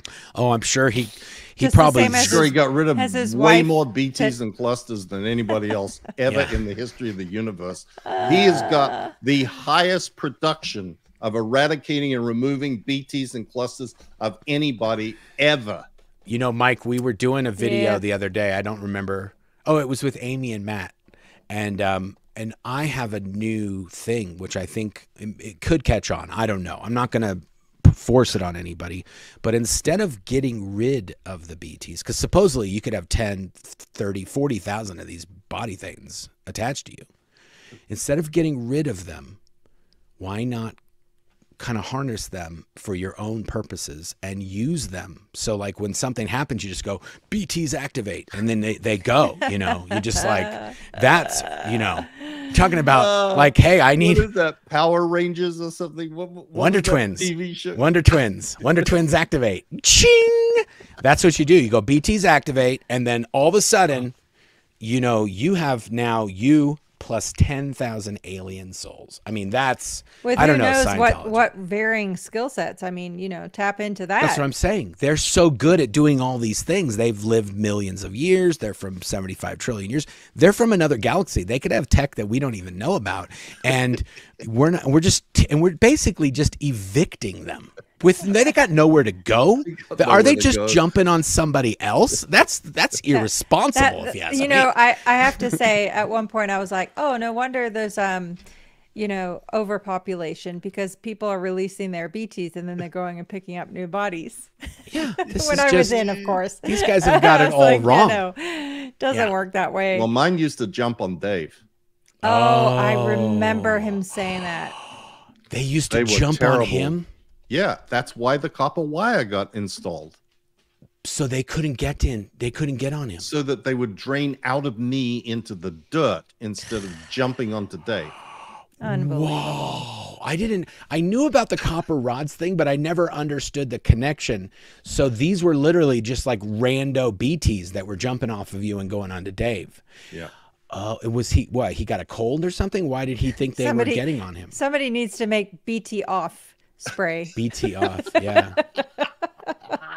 BT off. You know, I, I needed some BT ons. I'm writing that down right, Right. now. I Xenu Industries can look into this. Sticky, some sticky stuff to Look- keep them on so that they wouldn't interbulate and upset Dave. I'm gonna ask Lord Xenu Uh. about this because he's my homeboy. I'm gonna ask him if we can get some Xenu off. Well, while you But- make your notes, honey, um, so so people are asking what date the fundraiser fundraiser is. Of course, Oh. we'll we'll check with all all participating parties, but I'm just going to go out on a limb and suggest that we tentatively plan on Sunday, November 5th, which happens to also be Guy Fawkes Day. Okay, I don't know that that is a big Fox pull Day. for people. Like, yeah, get your Okay. anonymous, get your anonymous mask out, folks. We got Great Guy idea. Fawkes Day coming Thanks up. for the great idea, great input. Yeah, I was thinking That we was could well do it. received. Guy Fawkes Day. Oh I was God. thinking, babe, we got to do it on the day that the event is going to happen because that's the how we're going to fundraising get the event viewers. is actually Saturday the 4th. That's Okay. the IS patrons ball. perfect. Okay. Then that's when we do it. I think that we should do it on on Saturday the 4th Everyone in of the chat who's from England is with me, but that's okay. We'll we'll go with November 4th. I haven't seen one person that's it's Yeah. big in the UK. There's Apostate one. Alex came to my rescue. Well, Oh. Rain Virus says it's big in the UK. I know It it's big in the UK, but It is. I hate to break it to you, UK We're not in the UK. We're most not in the We're- UK. but Oh also, but also, you make up about three percent of our viewership when we look at the analytics. It is the Oh, next boy. biggest viewership outside the United States, but it's not that much. But um, we're here and we're doing it. We want you to see it, but I don't know that we're gonna ra- we're gonna rally a holiday around one of your holidays. We wanted to do it on the same day so that people think, oh, this is the patrons ball or this is whatever, and they will and we'll cover we'll be covering what's happening, but it'll be the SPTV coverage, not the Yes. internal Scientology. Yeah, we could even do it at the same time that it's airing in the UK Oh, because okay, they now we're good. they have the event Yeah. like at but either seven or eight. So we Okay. could do So- it at two or three in the That's afternoon. perfect. Ooh, Yeah, that's I like perfect. that. Brilliant. Perfect. I think the UK is only four hours, or did they change their daylight saving? Well, no, you're you're closer to them than we are, so it's Yeah, I know. different for each From of us. us, But either way, from I us, know, I like, know. like the live we did with Andrew last hours. weekend, he was seven hours ahead. Yeah. yeah, I it's was seven. seven hours. Yeah, from seven. you, It's so that's five from me. Okay, Yeah. perfect. okay, so whatever. We'll Tentatively, that's when we'll do it, guys. All the, whoever was asking, um, then uh, we'll do that. I just want to put this up from Amy real quick because she's piping in on one of these clusters. He said us executives were all one big BT cluster. Yes. Wow. How does oh, that many work? times. I think that doesn't work though, right? I'm not sure. I don't know. I don't understand you, how. you, you uh, well, you're not you're not like really at the level. well, to I haven't read to Dianetics even, this. so I mean, what the Right, hell? so- you know, Claire and I could go into a bit more of a, a detailed description of this, but you Okay. know, Yep. Well, you Yeah, guys figure that out, I'm gonna figure out how to harness the power of BTs. Okay, I'm gonna okay. telling you. I've got a question. We've been there for an hour and a half. We haven't even read a comment other than Oh, that yeah. one or a question or anything. Are we going to do any of those, or are we yeah. just going Let's to blow Yeah. let, everybody let's today? let's no. Let's do Q and A, and then we can wrap it up for tonight. Yeah. And first of all, I'm putting this one up because it's special. I tagged it. Oh, yes. Congratulations on the Magpies grand final win. Uh 10 lead changes, uh, equal Did you watch it, second Mark? most. Yes. And yes. So also, did I. is it not going to be an instant classic uh, grand final? uh, Like it already? was. It, was, an amazing. absolute classic. It was an absolute classic. Unbelievable. It was great. Thank you, Tassie. Great That game. is um, very appropriate now that Wouldn't have been so great I- if we didn't win, but it was great. Yes. It was still great. Um, Annabelle says, "Thanks for saving me from bear attack vids. Love." Okay, All right. You're welcome. Oh, I'm not sure what that is, but I did watch a bear attack video yesterday myself, so I'm not sure uh, if that's going around. Um, Sai says, "So lovely to see the three of you together, and Mike is looking so much better now. We need IAS shirts. Yeah, get on that, Claire. We got to get that merch ready for the fundraiser." Okay. Um, I'm not sure what that's going to be, but uh, we'll figure something out. Thank you very much, Sai. You're very generous. Um, Caroline W- Wirastica. Wirastica. Wirastica. Yeah. There go. Question: What are the probably whales? So we Vir- did answer that. That is the uh, those are the high rollers in Scientology. Thank you, Carolyn. Yes. Um, Alana um, Eschpeter. Um, been lurking for years. Great to see you three still bringing attention to the shady actions of the COS. Read your books and waiting. uh, Read your books and waiting for yours, Claire. There you go. More pressure on Claire to get her book done one of these years. I'm Um, aiming for March 13th, L. Ron Hubbard's birthday. Wish me luck. Oh, we get see now we're just gonna time everything to their events, and it's just gonna really. I, I, I got to tell you this right now before we bring up the next comment. There is so much SPTV content. I was trying to figure out logistically how they can watch it all and re- and and summarize and report up. I haven't figured it out yet. It's just it's too much. They must. I know that they have an uh, like a transcription software that they paid millions and millions of dollars for. That's at this new SPTV place, so they can translate and they can do all kinds of stuff with it. They have to be feeding it into that, but I I think Someone somebody still, still has has to read it. Somebody still has to go through and clean it up and pick out the pieces that are relevant and who got that info to us and figure out who they got to track down these leaks. And at this point, it literally is just Niagara Falls of leaks. There's no Yep. way. Absolutely. Trace de Ace. Super sticker. Thank you, Trace you. de Ace. Trace the ice. I like that. Um, Angelina. Hi, Mike, Claire, and Mark. Hello, Angelina. Um, do the big donors know they are called whales? Love you all from Mexico. I don't think that's something you say. do. Yeah, I don't but think I it's something you say do, in front of them. They're proud of it. Mm, Maybe. Yep. They're like they love to be categorized in the whales category. They're Yeah, the big donors. so. They're the big Yeah. supporters. They're the Yep. You're right. Probably they do. Well, they 100%, the people that can give millions of dollars, they play a little game with these people and they, they'll, you know, they'll work it as long as they can work it until they have to give it over. But, um, but they know that everybody involved in these transactions knows their part in the transaction. Um, Rorschach 2112. The more I learn about Scientology, the weirder it gets. Fascinating subject, batshit crazy, but fascinating. Love you guys. yes. And you know, that's the reason why it's funny. At first, I was trying to, we got to tell this, we got to tell that. We don't. We just tell everything as we can tell it. There is enough crazy that if Scientologists quit and left, we could still talk about it for a few years and not run out of stories. So we're just right now. Um, Scientology is spending millions and millions of dollars promoting um, our channels uh, on YouTube and stuff like that. Like a lot of the ads we're getting are, um, I'm getting Dr. Berg ads, I'm getting Scientology ads, I'm getting ads on my channel that Scientology are paying for. So um, I don't know what to tell you. Scientology is kind of feeding this beast, which is SPTV. Yep. Stephanie Stewart, uh, thank you for that, Stephanie. That's very generous. Captain Chucklesworth arrived. Please thank the Headley Packing Company for doing such a nice job shoving his ass in a box. Yeah, you know, we had Stephanie. It's so funny that you mentioned that. Thank you very much for the uh, super chat. Um, I told, I mean, full disclosure, Claire, myself, and my three boys, we're the ones that pack all these little Captain Chucklesworth or Dirt, Dirty Davy doll or whatever you end up calling it. We're packing them up. And the other day I said, hey guys, I know we're not, I said to be rough and just shove him in the box and all that, but you can't leave his legs sticking out of the box. You got to poke. It was like it was like the Wicked Witch of the West. There were little toesies sticking out. We're like, I was like, oh, you gotta poke all his parts into the box, otherwise he could leave. He could lose a part on the way to wherever he's going. Okay. Oh my gosh. Our Yeah. kids definitely have our um, supreme packaging genes. Oh yeah, that they is for definitely sure. they're good.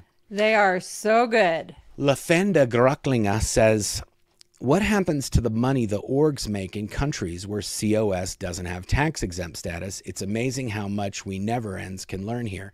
Yeah, now this is a very interesting thing. Mike, you should kind of explain this because this is, and also this big thing that just happened in the UK is a big deal in regards to that.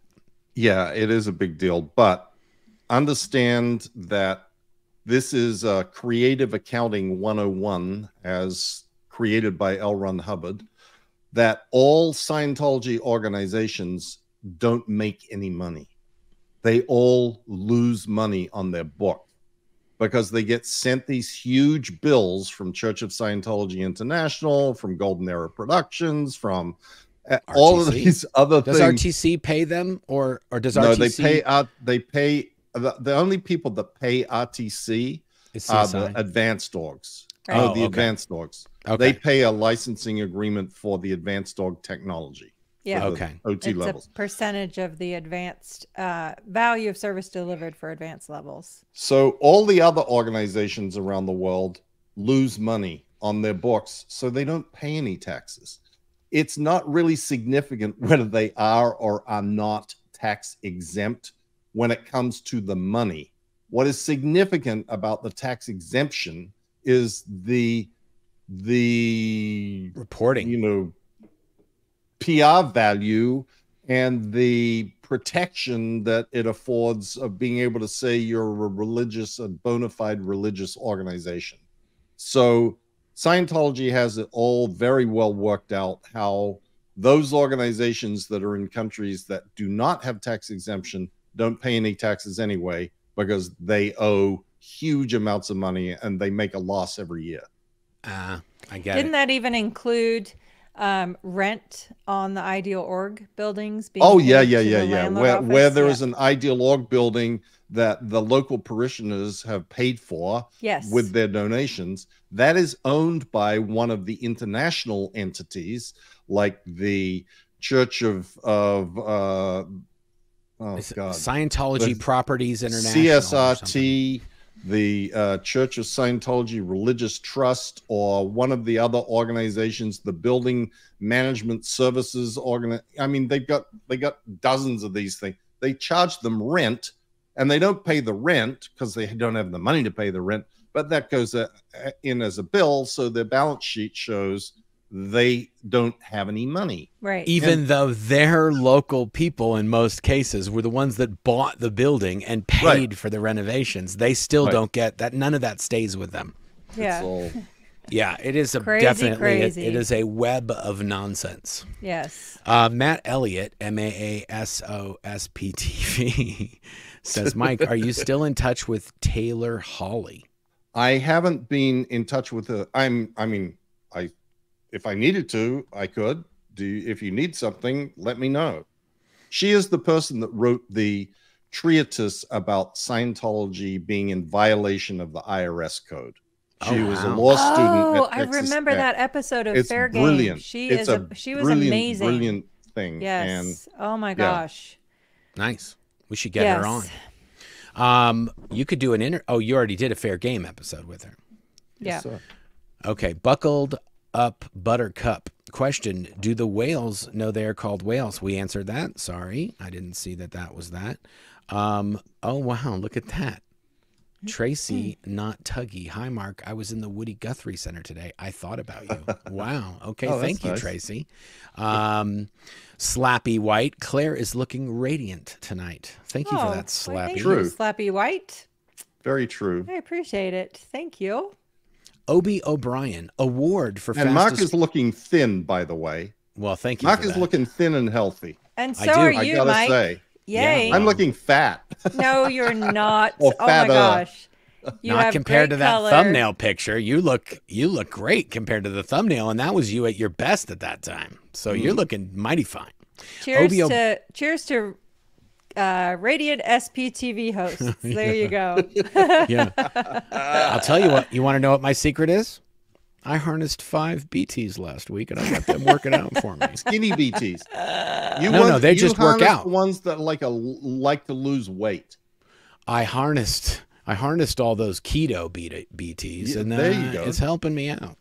Yep. Ob O'Brien says award for fastest growing SPTV channel, award for most channels promoted, award for most viewers in a live. Awesome. Yeah, we're definitely going to have to figure out all these awards.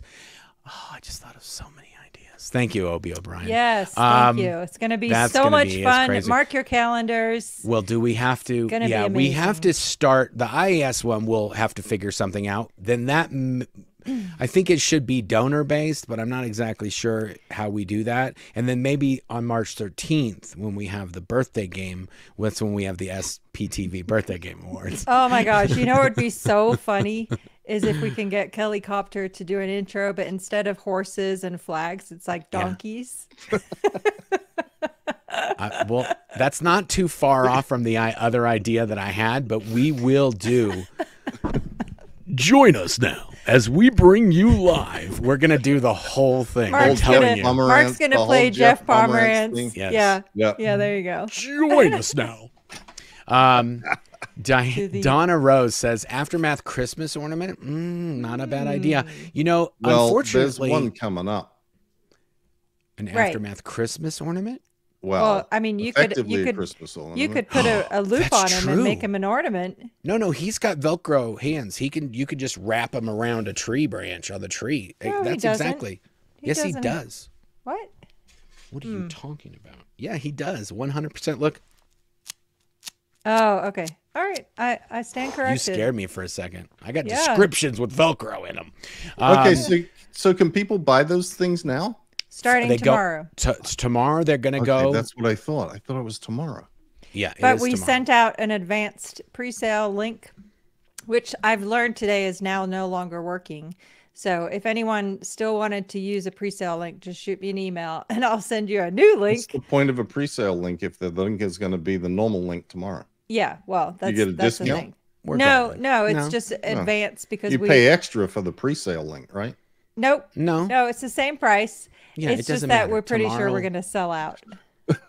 well, we don't know, but it's definitely it's looking pretty. Um, it looks like there's not going to be a lot.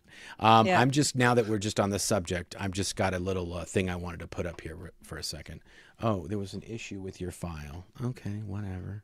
Um, then I won't. I'll do it later. Terry Hodgkin, um, your book arrived today, Mike. Now I Oh, have yours good. and Mark's books autographed, waiting to get Claire's next. I'm in awe of all that you've done with the Aftermath Foundation and your videos. Thank you very much, Terry. That is Thanks, very, Terry. very I'm glad you got the book. I've been sending them out like crazy. You have you, been, you get a lot of the signed ones. Well, yeah, because I didn't do it for a while. And then a bunch of people asked. And then so I put it back on my blog and said, you know, you can get an autographed copy again. And now I'm like going back and forth to the post office all day, every day. yeah, I just do one run in the morning. That's how I do it. Well, just so, do know. I actually, but I it sounded better to say it like that. It doesn't sound like it. Just sounds like you're driving Because- around Florida with boxes.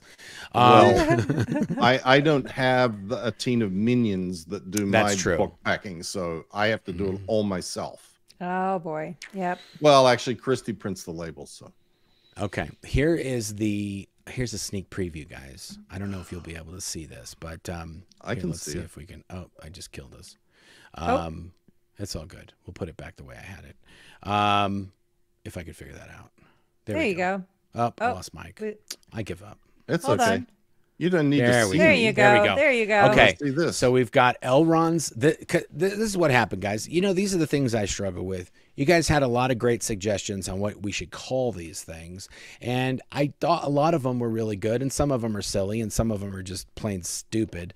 But I like that everybody gets included. So we kept almost all the names that had sort of some sense of uh, consistent. Uh, can Is this just one page or is there more pages? there's more pages, but I'm just going to show this one. We have El- Elron's Leprechaun, um, Damn It Davy Doll, Puppet Boy Davy, Captain Davy Chucklesworth, Captain Keebler, Captain Space Davy, Captain Poopy Pants Dave, Dinky Dirty Stinky Troll, Dave the Fart Elf, and Davy the the whole troll. And then there's a whole nother page of a bunch of other ones. But those are the things that you guys are going to get to buy. Um, and well, I call um, mine Fake Navy Davy because I think Yes. that's the best one. and there is fake Navy Davy is on there as well. So um, we have fake Navy Davy, and there's another one, Space Navy Davy, or something else. Anyway, I, what I want to what I want to have you guys do, if you do end up getting one, or if you don't even get one, I at least want you to go to the SP shop and read the descriptions and give me your feedback on the descriptions. I did spend a lot of time putting those together, and um, and they some of them. I mean, if you don't laugh out loud, you're definitely gonna laugh to yourself. You're gonna laugh in your head. Okay Oh, your yes. mind your mind's eye is going to be looking at some laughing okay If you're feeling down, just go to the spshop.com and read some descriptions. You'll get some chuckles. oh my god dr Wa- is how do you say this doctor is it juan Juan Le? Le. juan le That's what I'd say. okay Juan Le. Juan le thank you very much this person has been so generous Yes. she has donated um I, she's done a ton of uh if not super chats just donations by i think she bought um those little dolls that we could do a giveaway with um the She- captain and she- chucklesworth she purchased five paperback books, um, which we gave away. And she has an amazing survivor Yeah. story herself. So, yeah, just an amazing person. Thank you for that. She says, "Love work, uh, love work. All SPTV and Aftermath Foundation do, making my lab students listen to you and SPTV six hours, telling them to subscribe. Wow. Eminem listening to your books as I go. Keep having Mission Impossible style escape dreams. Blessing your blessing, blessing to your health, Mike. Amazing. Thank you so much. Thank you very much. You're very generous. Thank you very much for that." Yeah. Um, oh my goodness, we had somebody on here the other night that said they made their was it, it wasn't their students it was something else they made every oh their coworkers they made their co- they had 30 coworkers they made subscribe to SPTV channel Yes. Yes. I was like and another person another person said that they got their entire dentist office watching SPTV.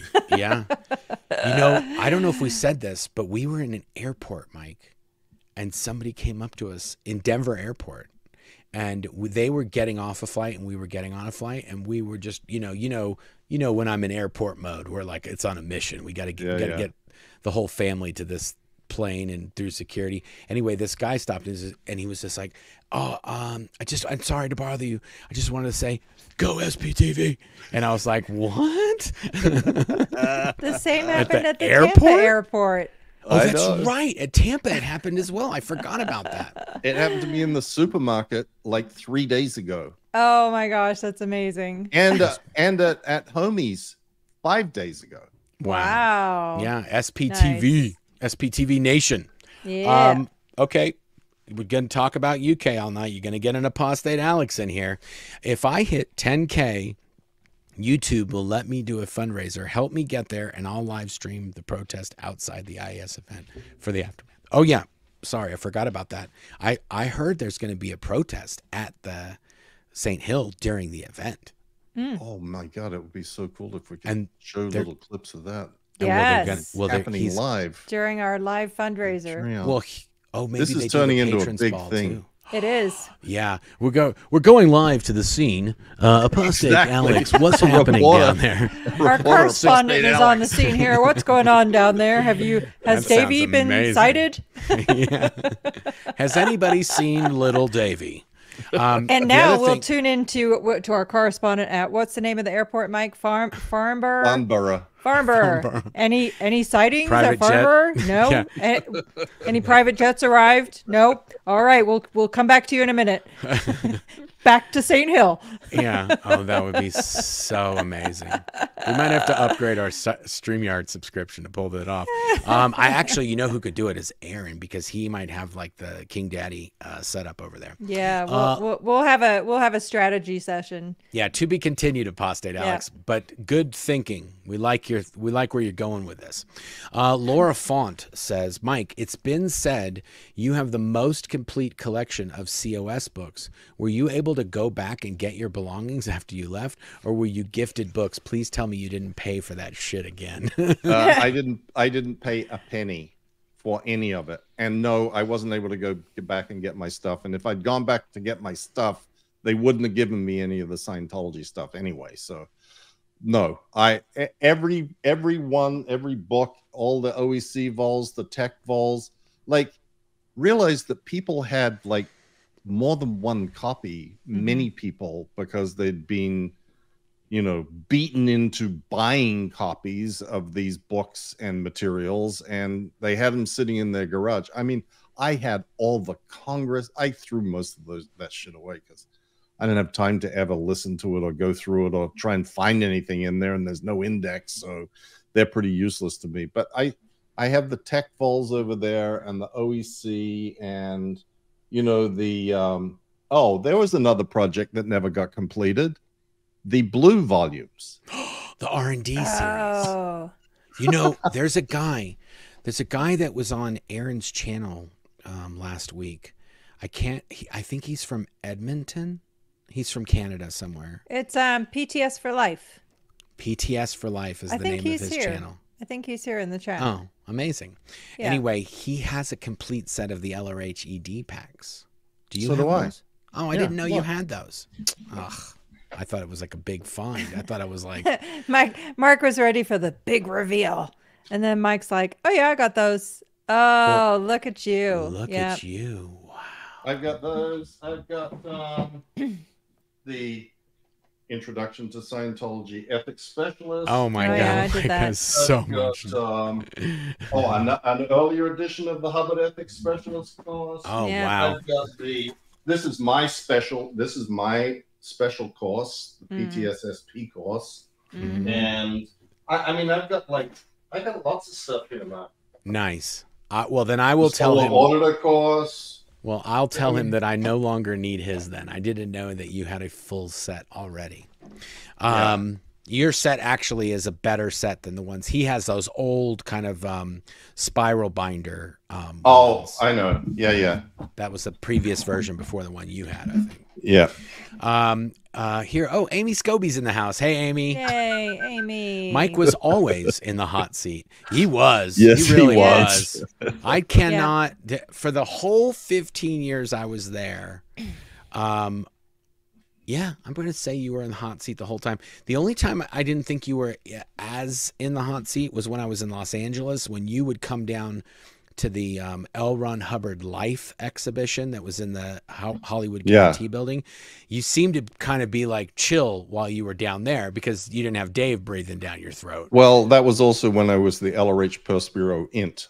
I wasn't on in OSA World.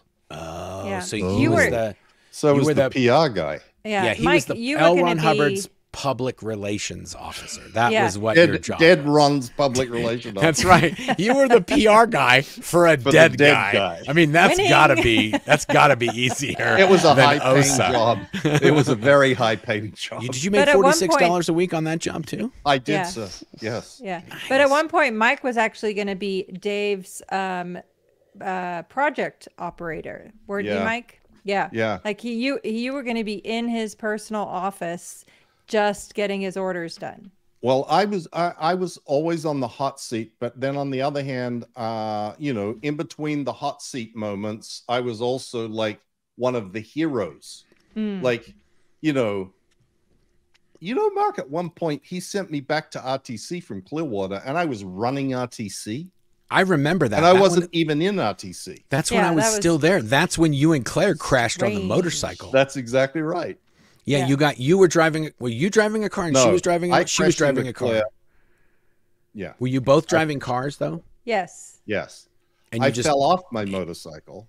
That was a separate incident. oh, That was a that's right. separate incident. That was a Yeah. separate thing. But Yeah, I Ma- remember. Mark and Mike and I have um several different crash related memories together.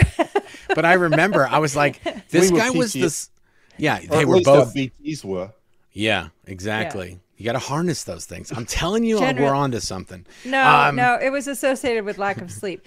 The, the car know. crash was at four o'clock in the morning. It was raining, and Mike was heading down to the hole, and at the last minute, changed his mind and decided to turn. And oops, there was I crashed into my. that was one. And, then guess the what? One, Guess what? Yep. I just got to bring it up. Okay. No reports were written, Oh my and no one was off the road after that. Blah, no, blah, Mike blah, didn't blah, stop blah. driving. Claire I didn't I couldn't afford driving. to stop driving. Yeah, I know, but that was one of the things. You had to follow the rules until you didn't, and then it was Yeah, just for free for all. Anyway, but um, yeah, when I came back, I was when you came back and you were doing that, I was like, we were in a meeting with this guy months ago, and Dave said that he was the biggest SP on his lines of any SPs, including the SPs that were in the outside world attacking Scientology. And now he's running RTC for Dave. I was just like, my mom, I can't keep up with the, you know, like sometimes you'd see somebody and you'd, you'd treat them like, yes, sir, no, sir. And they'd be like, you don't have to do that. And you'd be like, why is that? And you're like, I'm the deputy, deputy D weeder now. And you're like, what? you Really? pulling weeds? And you're like, like- yeah. And you're like, well, then fuck off then. Uh, I'm going to go back to do what I was doing. I'm like, wow, I didn't even know that post existed. yeah, no, it was created for me. That's Yeah, what they say. It was created for me. Yep. Oh, And my I, goodness. I, I'm junior to the junior of Spike Bush. Yep, there you go. Okay, now I don't know. Okay, oh, I get it. Lathanda Grucklinger. Again, thank you, Lathanda. Um, Reese just said on that's relatable, Reese. Uh, you can go to her channel if you want to uh, subscribe to Reese. Reese just said on Aaron's Live a few hours ago that her mother in law told her that her mother in law and father in law paid 100K each for the L's, flights, rooms, food was extra. There you go. There you go. I'm That telling you guys. That's a hundred thousand dollars Yep. um, to do these things that were written by the biggest SP before Mike showed up. Um, it's unbelievable. David Well, Mayo. actually, it was actually before Marty showed up, and then Mike. that's true. But my, Marty's now not an SP anymore.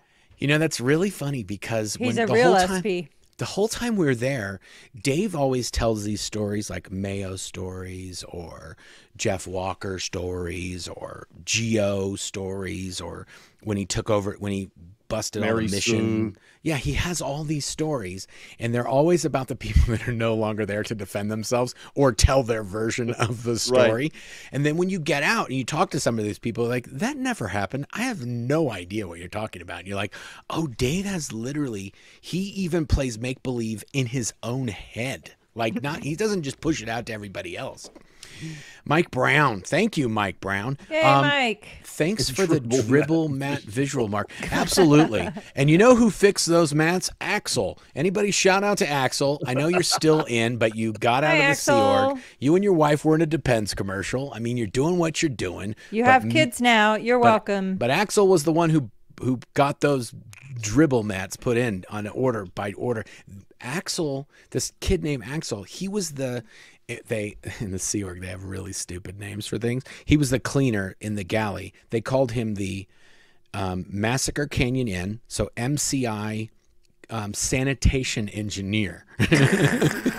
he was a sanitation engineer. Oh my god, I totally and, forgot and about that. And he was the one who got the he was i think he was actually in the bathroom cleaning the bath he was mopping the floor or something and dave came in and he was mopping under the urinals and dave said hey what are you doing? He's like oh, i gotta mop these things. He goes oh these these bar- barbarians are peeing on the floor. He goes yeah and you gotta clean it otherwise you see it on the floor. And he goes you know you could put a rubber mat there and then the pee would you wouldn't even see it and so when he said that to that kid, you could put a rubber mat there and then you wouldn't see the pee. Then that was an order to him. And somebody would have come down. If Dave um, didn't say, this is, Dave doesn't say, this is an order, you have to do this. He leaves, and then somebody comes down from his office, and you have an order now from David Miscavige to get pee mats for under the urinals, and then all these people start showing up out of the woodwork and like, uh, where are we getting the mats? How are you going to pay for the mats? Let's get a PO approved. I mean, it's a whole team that is like the piss mat project right now. Yeah, and, they just as a comment, there's nothing that makes a men's bathroom smell better than hidden pee under mats. I mean, wow. Do you want to bet he had to get the Mets approved?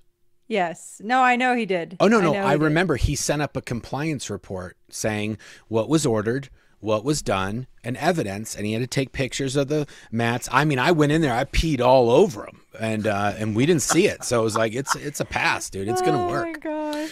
Den- Denise Dude, Brown man. says ten. Uh, clip that, Caden. Clip that.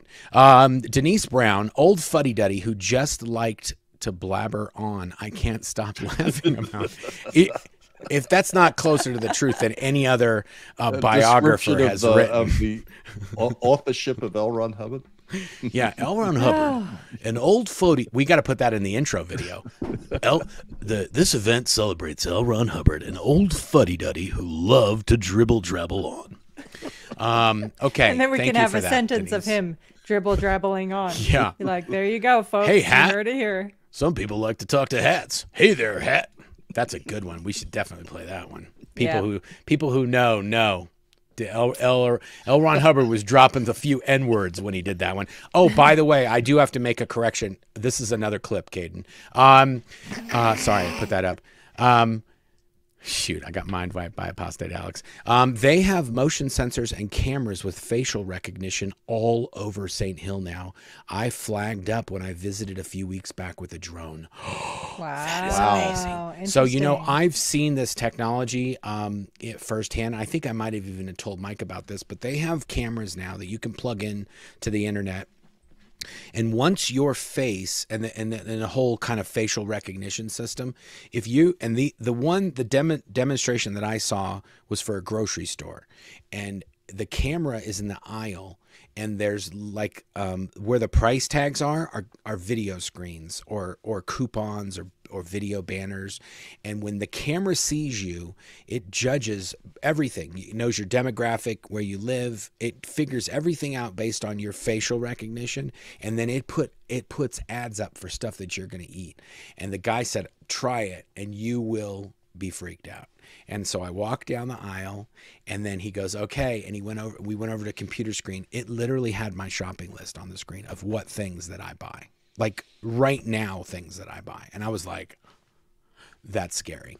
So they mm. probably just have all of the rogues gallery.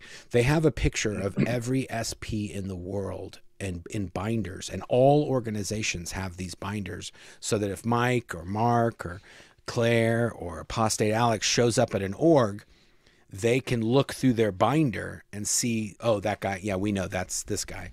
But if they're doing it with cameras now, that's crazy. That's a lot of money. That's what they're spending your money well, on. Well, that's because Dave wants to be able to go there. Yeah. Oh, yeah. Look at that. Bonanza. Um, Paranoid Sue B. much? There you go. Two ninety nine. Thank you very much for that, subi All this is blowing my mind. Learning so much. Thank you, subi That's what we're here for. Fascin- Yes. Fascinating, incredibly valuable snippets of information. well, I mean, to be fair, this a lot of people they you know they see like this um NXIVM or they hear about this other cult and there's like a hundred people, there's 26 people and they're doing this. We're talking about probably 25,000 people that are involved in all this right now today that are they're they don't know any of this stuff. They think that David Miscavige is driving them off into the sunset on the, and they're going to there's millions and millions of Scientologists over the world and there's like 25,000 and they're I mean he's been he's been driving them along the rocks for the last 20 years. Yep. I don't know how they haven't sunk yet. Eat more pizza now. I listened to both Mike's and Marc's books on a recent road trip. I was amazed at what ill Davy had done Lil. to each Little. of you. Oh, little Lil. Davy. Lil, what Lil Davy had done to each of you. Very touching. I understand why it must be tough for others to write their own stories. Yeah. Yeah, it is. It's not a um I mean, It's not for the faint of heart. No, It it is isn't. not. And I do want to say sometimes people bring this up that we're very jokey and we're very, um, you know, we're flippant about some of these things. If you were there for the amount of years we were there, we already went through the ringer. We've already and and and and if we retold the stories and we didn't laugh about them, we the only other emotion is to cry. So, or to be very, very angry and to break things. So, um, which I, my method is to try to, you know, try to make it a little light, tell the stories. The people that are watching that are in Scientology that are watching these videos, they 100% know that what we're saying is true because mm-hmm. we're using all the lingo and we know all the p- players and the people and we were there and we were there. So they know this is legit. There there's no way a Scientologist could watch one of our videos and say, "Oh, those guys are lying." It's impossible. They know. Well, they say it. Well, but they know They know. that we're telling the truth. Yep. Right. LJ, are the meters approved by any regulatory agency, CE mark in Europe or FDA US or UL rating? I don't know No. about this new one, but I doubt it. It's a religious artifact. So it's Right. sort of like, you know, Exempted.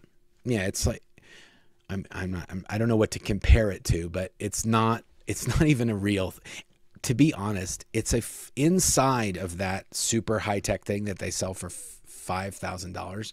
The easy Is- bake oven. No, no, is a forty dollar circuit board that is Right. it's. I mean, I want to say it's not even bigger than a playing card. That's about how small it. It's about as big as as a playing card, and and the, the total not, not not even the not even the circuit board is forty dollars. The whole cost of the entire thing is forty dollars, and they're selling it for five thousand dollars. So, um, yeah, it's a joke. Peace Dog super sticker. Thank you, Peace Dog. We appreciate that. Lathonda again. BT's BT's assemble. It's BT's activate. BT's activate. Well, it could be BT's assemble and then BT's activate. Mm, we gotta BT's think all about that. hands. All hands. We're gonna think about that. I'm telling you guys, I'm gonna start a trend of BT armies. Salty Beach Girl Lori, so happy to see everyone so happy. Been catching up on old videos, and every one of you made me cry this week. Love, love, love you all. Thank you for that. I didn't mean to make That's you cool. cry, but I mean. It is what it is. It's It is what it it's- It's sad shit. Adorably anarchy, adorable anarchy. Question: How did Tom Cruise ever read Dianetics when he had dyslexia? That's a very Well, good he got question. he got the same out of it that everybody else did. Yeah. Nothing. Rambling, fuddy duddy nonsense. If the letters and words are jumbled up, it doesn't really make that much difference. Yep. you know, there is a video called the Dianetics How To video, and you can watch that in a half an hour and you can do Dianetics without even reading the Dianetics book. You just have to read, follow the video. The video has taken the key parts of that book and made it so you can follow it. And you don't have to read whatever it is, 300 pages of fuddy duddy nonsense. That that is the only book that appears or the only Hubbard book that appears on the Amazon bestseller list ever. Dianetics. You're right. You're right. That and Lloyd usually Sher- your usually your book is outranking it every single week. Well, not I'm gonna look mine, right now. Leah's, yours, Jenna's. Like Yes. there's a, a resurgence. Uh, you know, crazy. Yep. It is. I'm gonna look. You guys, you guys uh, riff while I. Uh, I think Leah's. I I Okay. looked the other day, and Leah's was number one for. I don't know. Maybe she put up a YouTube video and talked about a book or something. I don't know. Nice. Mine has been number one and three and five. The audio, the this, the that, for like basically a year since it was released. Yay. Congratulations. Okay, so unknown person just read your book, Mike. Sounded like you hated Miscavige more than Scientology itself. Hmm. I think that that probably is true. Yeah. All right. And then here we go. I like how it's like. Yeah. Event name suggest IASP TV. Yes to Guy Fawkes Day, Claire. Yay! See, I got another Team Claire. Yay! I like. I like Oh, how yeah. she starts taking uh, reading the comments, and suddenly her pro Suddenly. comments are the Oh, ones yeah. getting pulled up. Guy see how convenient. I see how it Convenient. is. Yeah, Carolyn Rastica, thank you. Uh, Laura Estrada, I relay all the crazy traumatic stories to my 80 year old mom. She enjoys it as a sci-fi saga. I'm reading to her. There you Oh go. Well, that's one way to do it for sure. Oh my god. Fee in the shed. I'm with Claire. Yay! Another team Claire. Have the boys never seen V for Vendetta? Bonfire night is perfect and appropriate. Why, thank you, Fee in the shed. Great comment. Carolyn Marastica. I'm just She's gonna just pop out and get. these. I'm just gonna pop out and get my boots real quick because it's getting pretty thick around here. Thank you for saying my surname correctly. My husband is Balinese. Best wishes to you How all cool from? Melbourne, Australia. I think that was for you, Mike. I think you're the only one that said it absolutely uh, correctly. John Satowski in the house. Thin Marc is off the crackers. Yes, indeed. No crackers allowed in this house. That's true. I literally I had to get away from those crackers. That was just not helping me at That's all. funny. The fudge isn't much helping the cause either, but Oh, that's okay. thanks, That's John Satowski. That was him too that said that. It was. I know. I to- when he Mike. messaged yesterday. We got this. Oh my fudge, God, The Uranus? Uranus Fudge Factory General Store. The best fudge comes from Uranus. We got this, and it was box. Um, Mike, it was boxes and boxes of fudge. Yeah, look. I know. Here. Well, he sent you see he the- sent me uh, Yeah, throat That's too lozenges. close, babe. That's Oh. way too close. He sent me throat lozenges Oh, Oh, he did? nice. back like a few months ago. Nice. Nice, Thank yeah. you for the super sticker, Tamara. We appreciate it. Cody Mack, hey all, I was curious what you might know about Nashville or Literally no one ever there. Does Sea Org run it? Definitely no C's at that CC. no celebrities at that celebrity center. Yeah. Well, Aaron and I went by and visited that like I guess that was like six or seven years ago or something, maybe when we were there for a convention in Nashville, Oh, and it was there was a, a one of those VM yellow vans with a flat tire in the Yeah. parking lot, and maybe two other cars, and that was all. That was the Wow. entirety of the population of the Celebrity Center Nashville. nice. wow. Here's the um. Here's the Amazon bests. Oh, you gotta be kidding me. Um, I'll keep going on the Well, comments if while we- you if we- that. If we go like this, we yeah, can read it. right. Exactly. There you go. Okay, Donna Rose. Can someone get a drone over the IAS site for live reports? Oh, We'll I see. guarantee they have thought of that. I Yeah. guarantee you. Yeah, I'm sure you're too. right. Mm. Tina Christensen, hi from Highlands Ranch. Love and admire all of you. Well, hello back, the. Highlands Ranch. Yes, indeed, our neighbor. Uh, tenacious art girl. I want to suggest SPTV starting fun and cool raffles to raise more money for y'all, like win lunch in Clearwater with an SPTV personality, etc. nice thought. Well, we have a lot more coming on that. We've we've been slowly but surely gaining momentum over at the Aftermath Foundation. We just added a, a- an amazing new auction platform. So we'll see. We'll f- see what's on the horizon coming soon. Renee Hale, thank you for the super chat. Love you guys so much. My first live and my oh, first wow. super chat. Amazing. We appreciate it. Well, I hope you've it. enjoyed it. Yes, we certainly hope so. Thank you for being here with us today. And here we go. Free Xenu project of Farsec. Mike, I'm so glad you're doing better. It is so good to see you, Mark, and Claire back together again. You all do more to help people of the world in six months than Scientology has done in their entire existence. Yes, Thank that fun so fact is not lost on us, believe you me. oh my goodness. Alrighty. Melanie Kowek. Can you just see Leah being interviewed on the goldenrod carpet? What a hoot. Oh my goodness. Yeah, there you go. Goldenrod carpet. We need a goldenrod carpet now, guys. Yeah, I know, right? We got a growing list of event I event know, this sounds- requirements. This sounds like a lot of work for me. That's what it sounds like. Ah. Ah, no, co- no which, comment. which all goes to Claire. yeah. Yeah. Free Well, yeah, Xenu somebody's project gotta of do it. Write that down, honey. Somebody Write that actually has to do it. Write that down. Yeah. uh, Mike, if you were still in OSA, what would you do about SPTV? Uh, throw up my hands in despair and walk out the door. yeah, there you go. He's already he just did it. He's done it. There you go. Good answer. Free Xenu project of Farsec. Flippant, flippant. Marc, I resent. I resemble that remark. I th- you might have meant resent that remark. I'm not sure. That's, Yeah. That's what you say. You Yeah. say, Okay. Oh, I resemble gosh. that remark. Oh yeah. Oh, you're really doing a good job with this. I am. I got it. So Yeah, there I you got go. it- I literally have it all together. I'm Yep. doing a great job. Denise Brown, super sticker. Thank you so much, Thank you, Denise. Denise. Okay, here we go. Andy Fabulous. Oh, oh, okay, hold on. I'll just Need to hide make this for a second. Okay. Okay. So Mike is slaying it right now. So this is the right now Scientology bestsellers uh, bestsellers on Amazon. Mike is number one, number two, Leah's number three, number four, Jenna is number five. Okay. Uh, oh, look at that. Marc BFG. Number six. BFG. And number seven is Dianetics. And that is the paperback version. That is Mike- the first time that has been that high.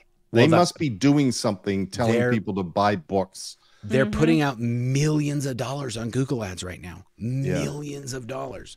Mike's book is number eight.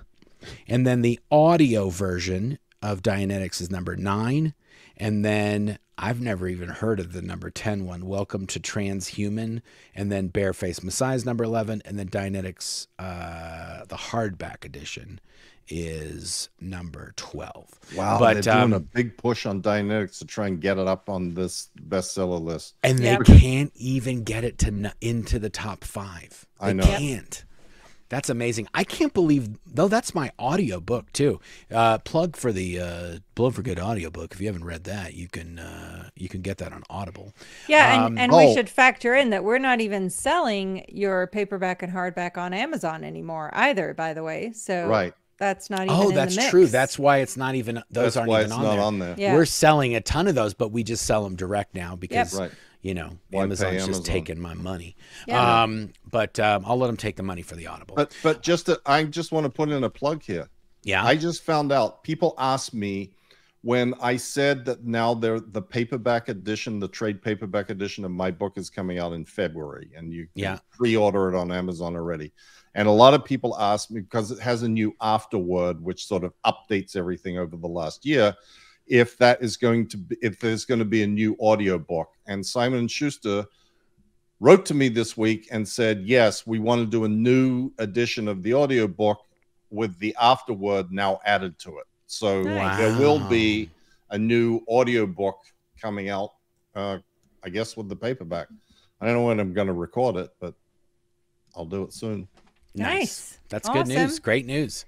Andy Fabulous. Thank you for that, Andy. Need to make LRH pee mats with his face on it and tongue sticking out to catch drops of pee. Make a great Christmas gift. Mmm, pee on mat. Okay, now listen, Andy Fabulous.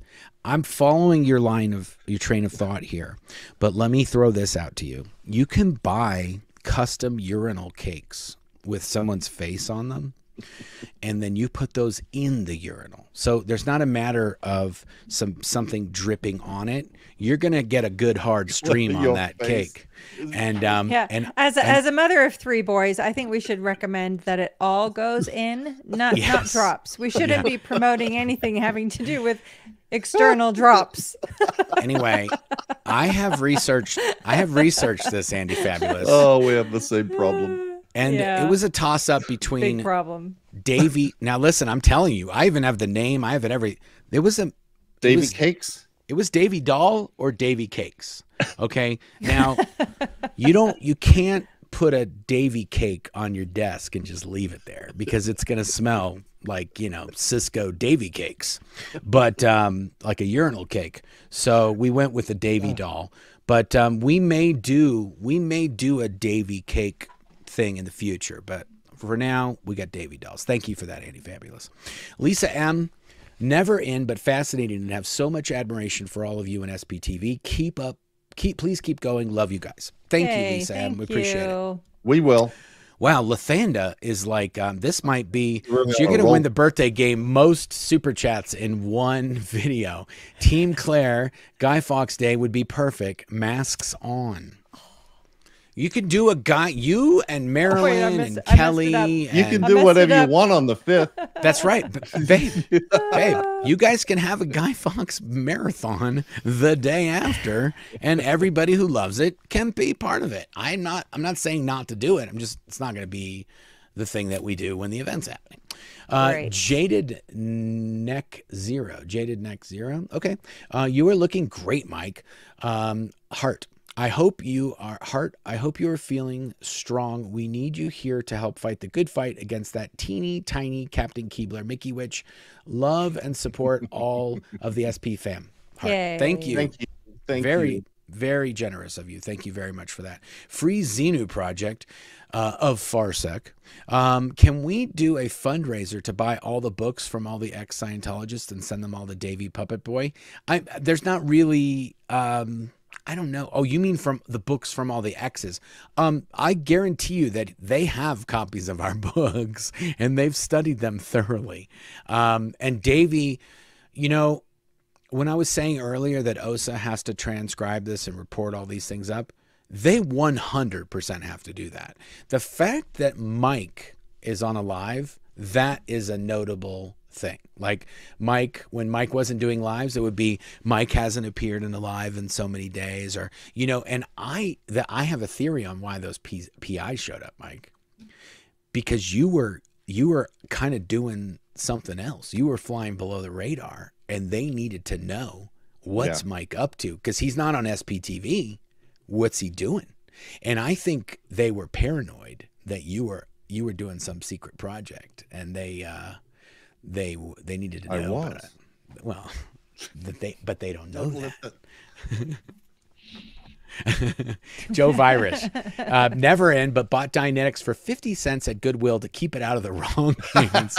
I camp a lot, so it makes for great kindling. I tell you, I have seen so many. Joe Virus, you're a goddamn genius. Yes. Um, well done, the- Joe Virus. the- Thank you for helping the world. Excuse my language. Sorry, I used the uh, Lord's name in vain. Um, but um, yes, you can do that. If you see something at a thrift store and it's fifty cents, just buy it to take it out of circulation. We don't need we don't know, need um, you know thrifters going. Sometimes there's a lot of kids these days that like to go to thrift stores and buy kind of cool old. Uh, you know, We do don't they want call? Macklemore to be the next celebrity Scientologist. Yeah, we don't. Yeah, we don't want Macklemore getting into Scientology.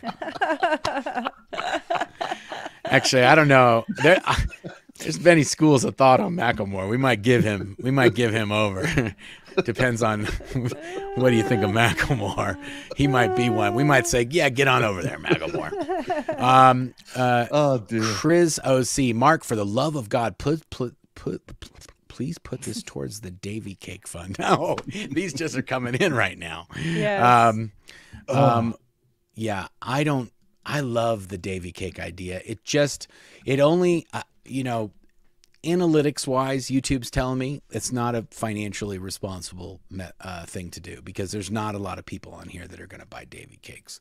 Um, but um, you know, we did it, guys. We made it to We the got- end. we got to the end. Amazing. Thanks to all the many people who joined us tonight. Don't forget to subscribe and like at Mike Rinder and at Blown for Good. We so appreciate you all here and thank you for watching to the very end. And also, those of you who watch to the very end, you get a treat. Yay. And- in our uh, final and- two minutes here, folks, just Oh, as and a I- reminder. And I do have to duck out because I got to get ready for the next stream with Mitch. So I'm going to let you guys wrap this one up. Claire, make sure to play the outro um, Yes. and do all the stuff that I normally do. Don't be a barbarian. Thank you. Bye. Who, have and- I and ever been a those- barbarian? Oh my gosh. Come on. Now, No, you're the least barbarian person I know, Claire. Honestly. Hey, just about now. So awesome. See you later, guys. Thanks again for doing this with us. We appreciate everyone. it. Bye bye. yes. And give me a minute here. Ah, ah, I'm Barbarian, so don't be a fired. I'm so fired. Oh my gosh, I'm freaking out here. Ah, ah, ah, ah. Oh The my video's on the brand. The video should be Brand, under I brand. know. I'm looking for the outro. I don't have it. It's There's no outro. it's okay. Claire. Okay. the only well, person in the whole world that cares about this is Marc. is Marc. I know. We won't Okay. tell him. We won't tell him. We won't tell him, and he'll never go Okay. back and watch it. It's our little secret. Amazing, but guys, I'll, I'll hit end stream. Thank you so much. Talk to you soon. Okay, bye-bye. Bye-bye. Bye. Our little secret.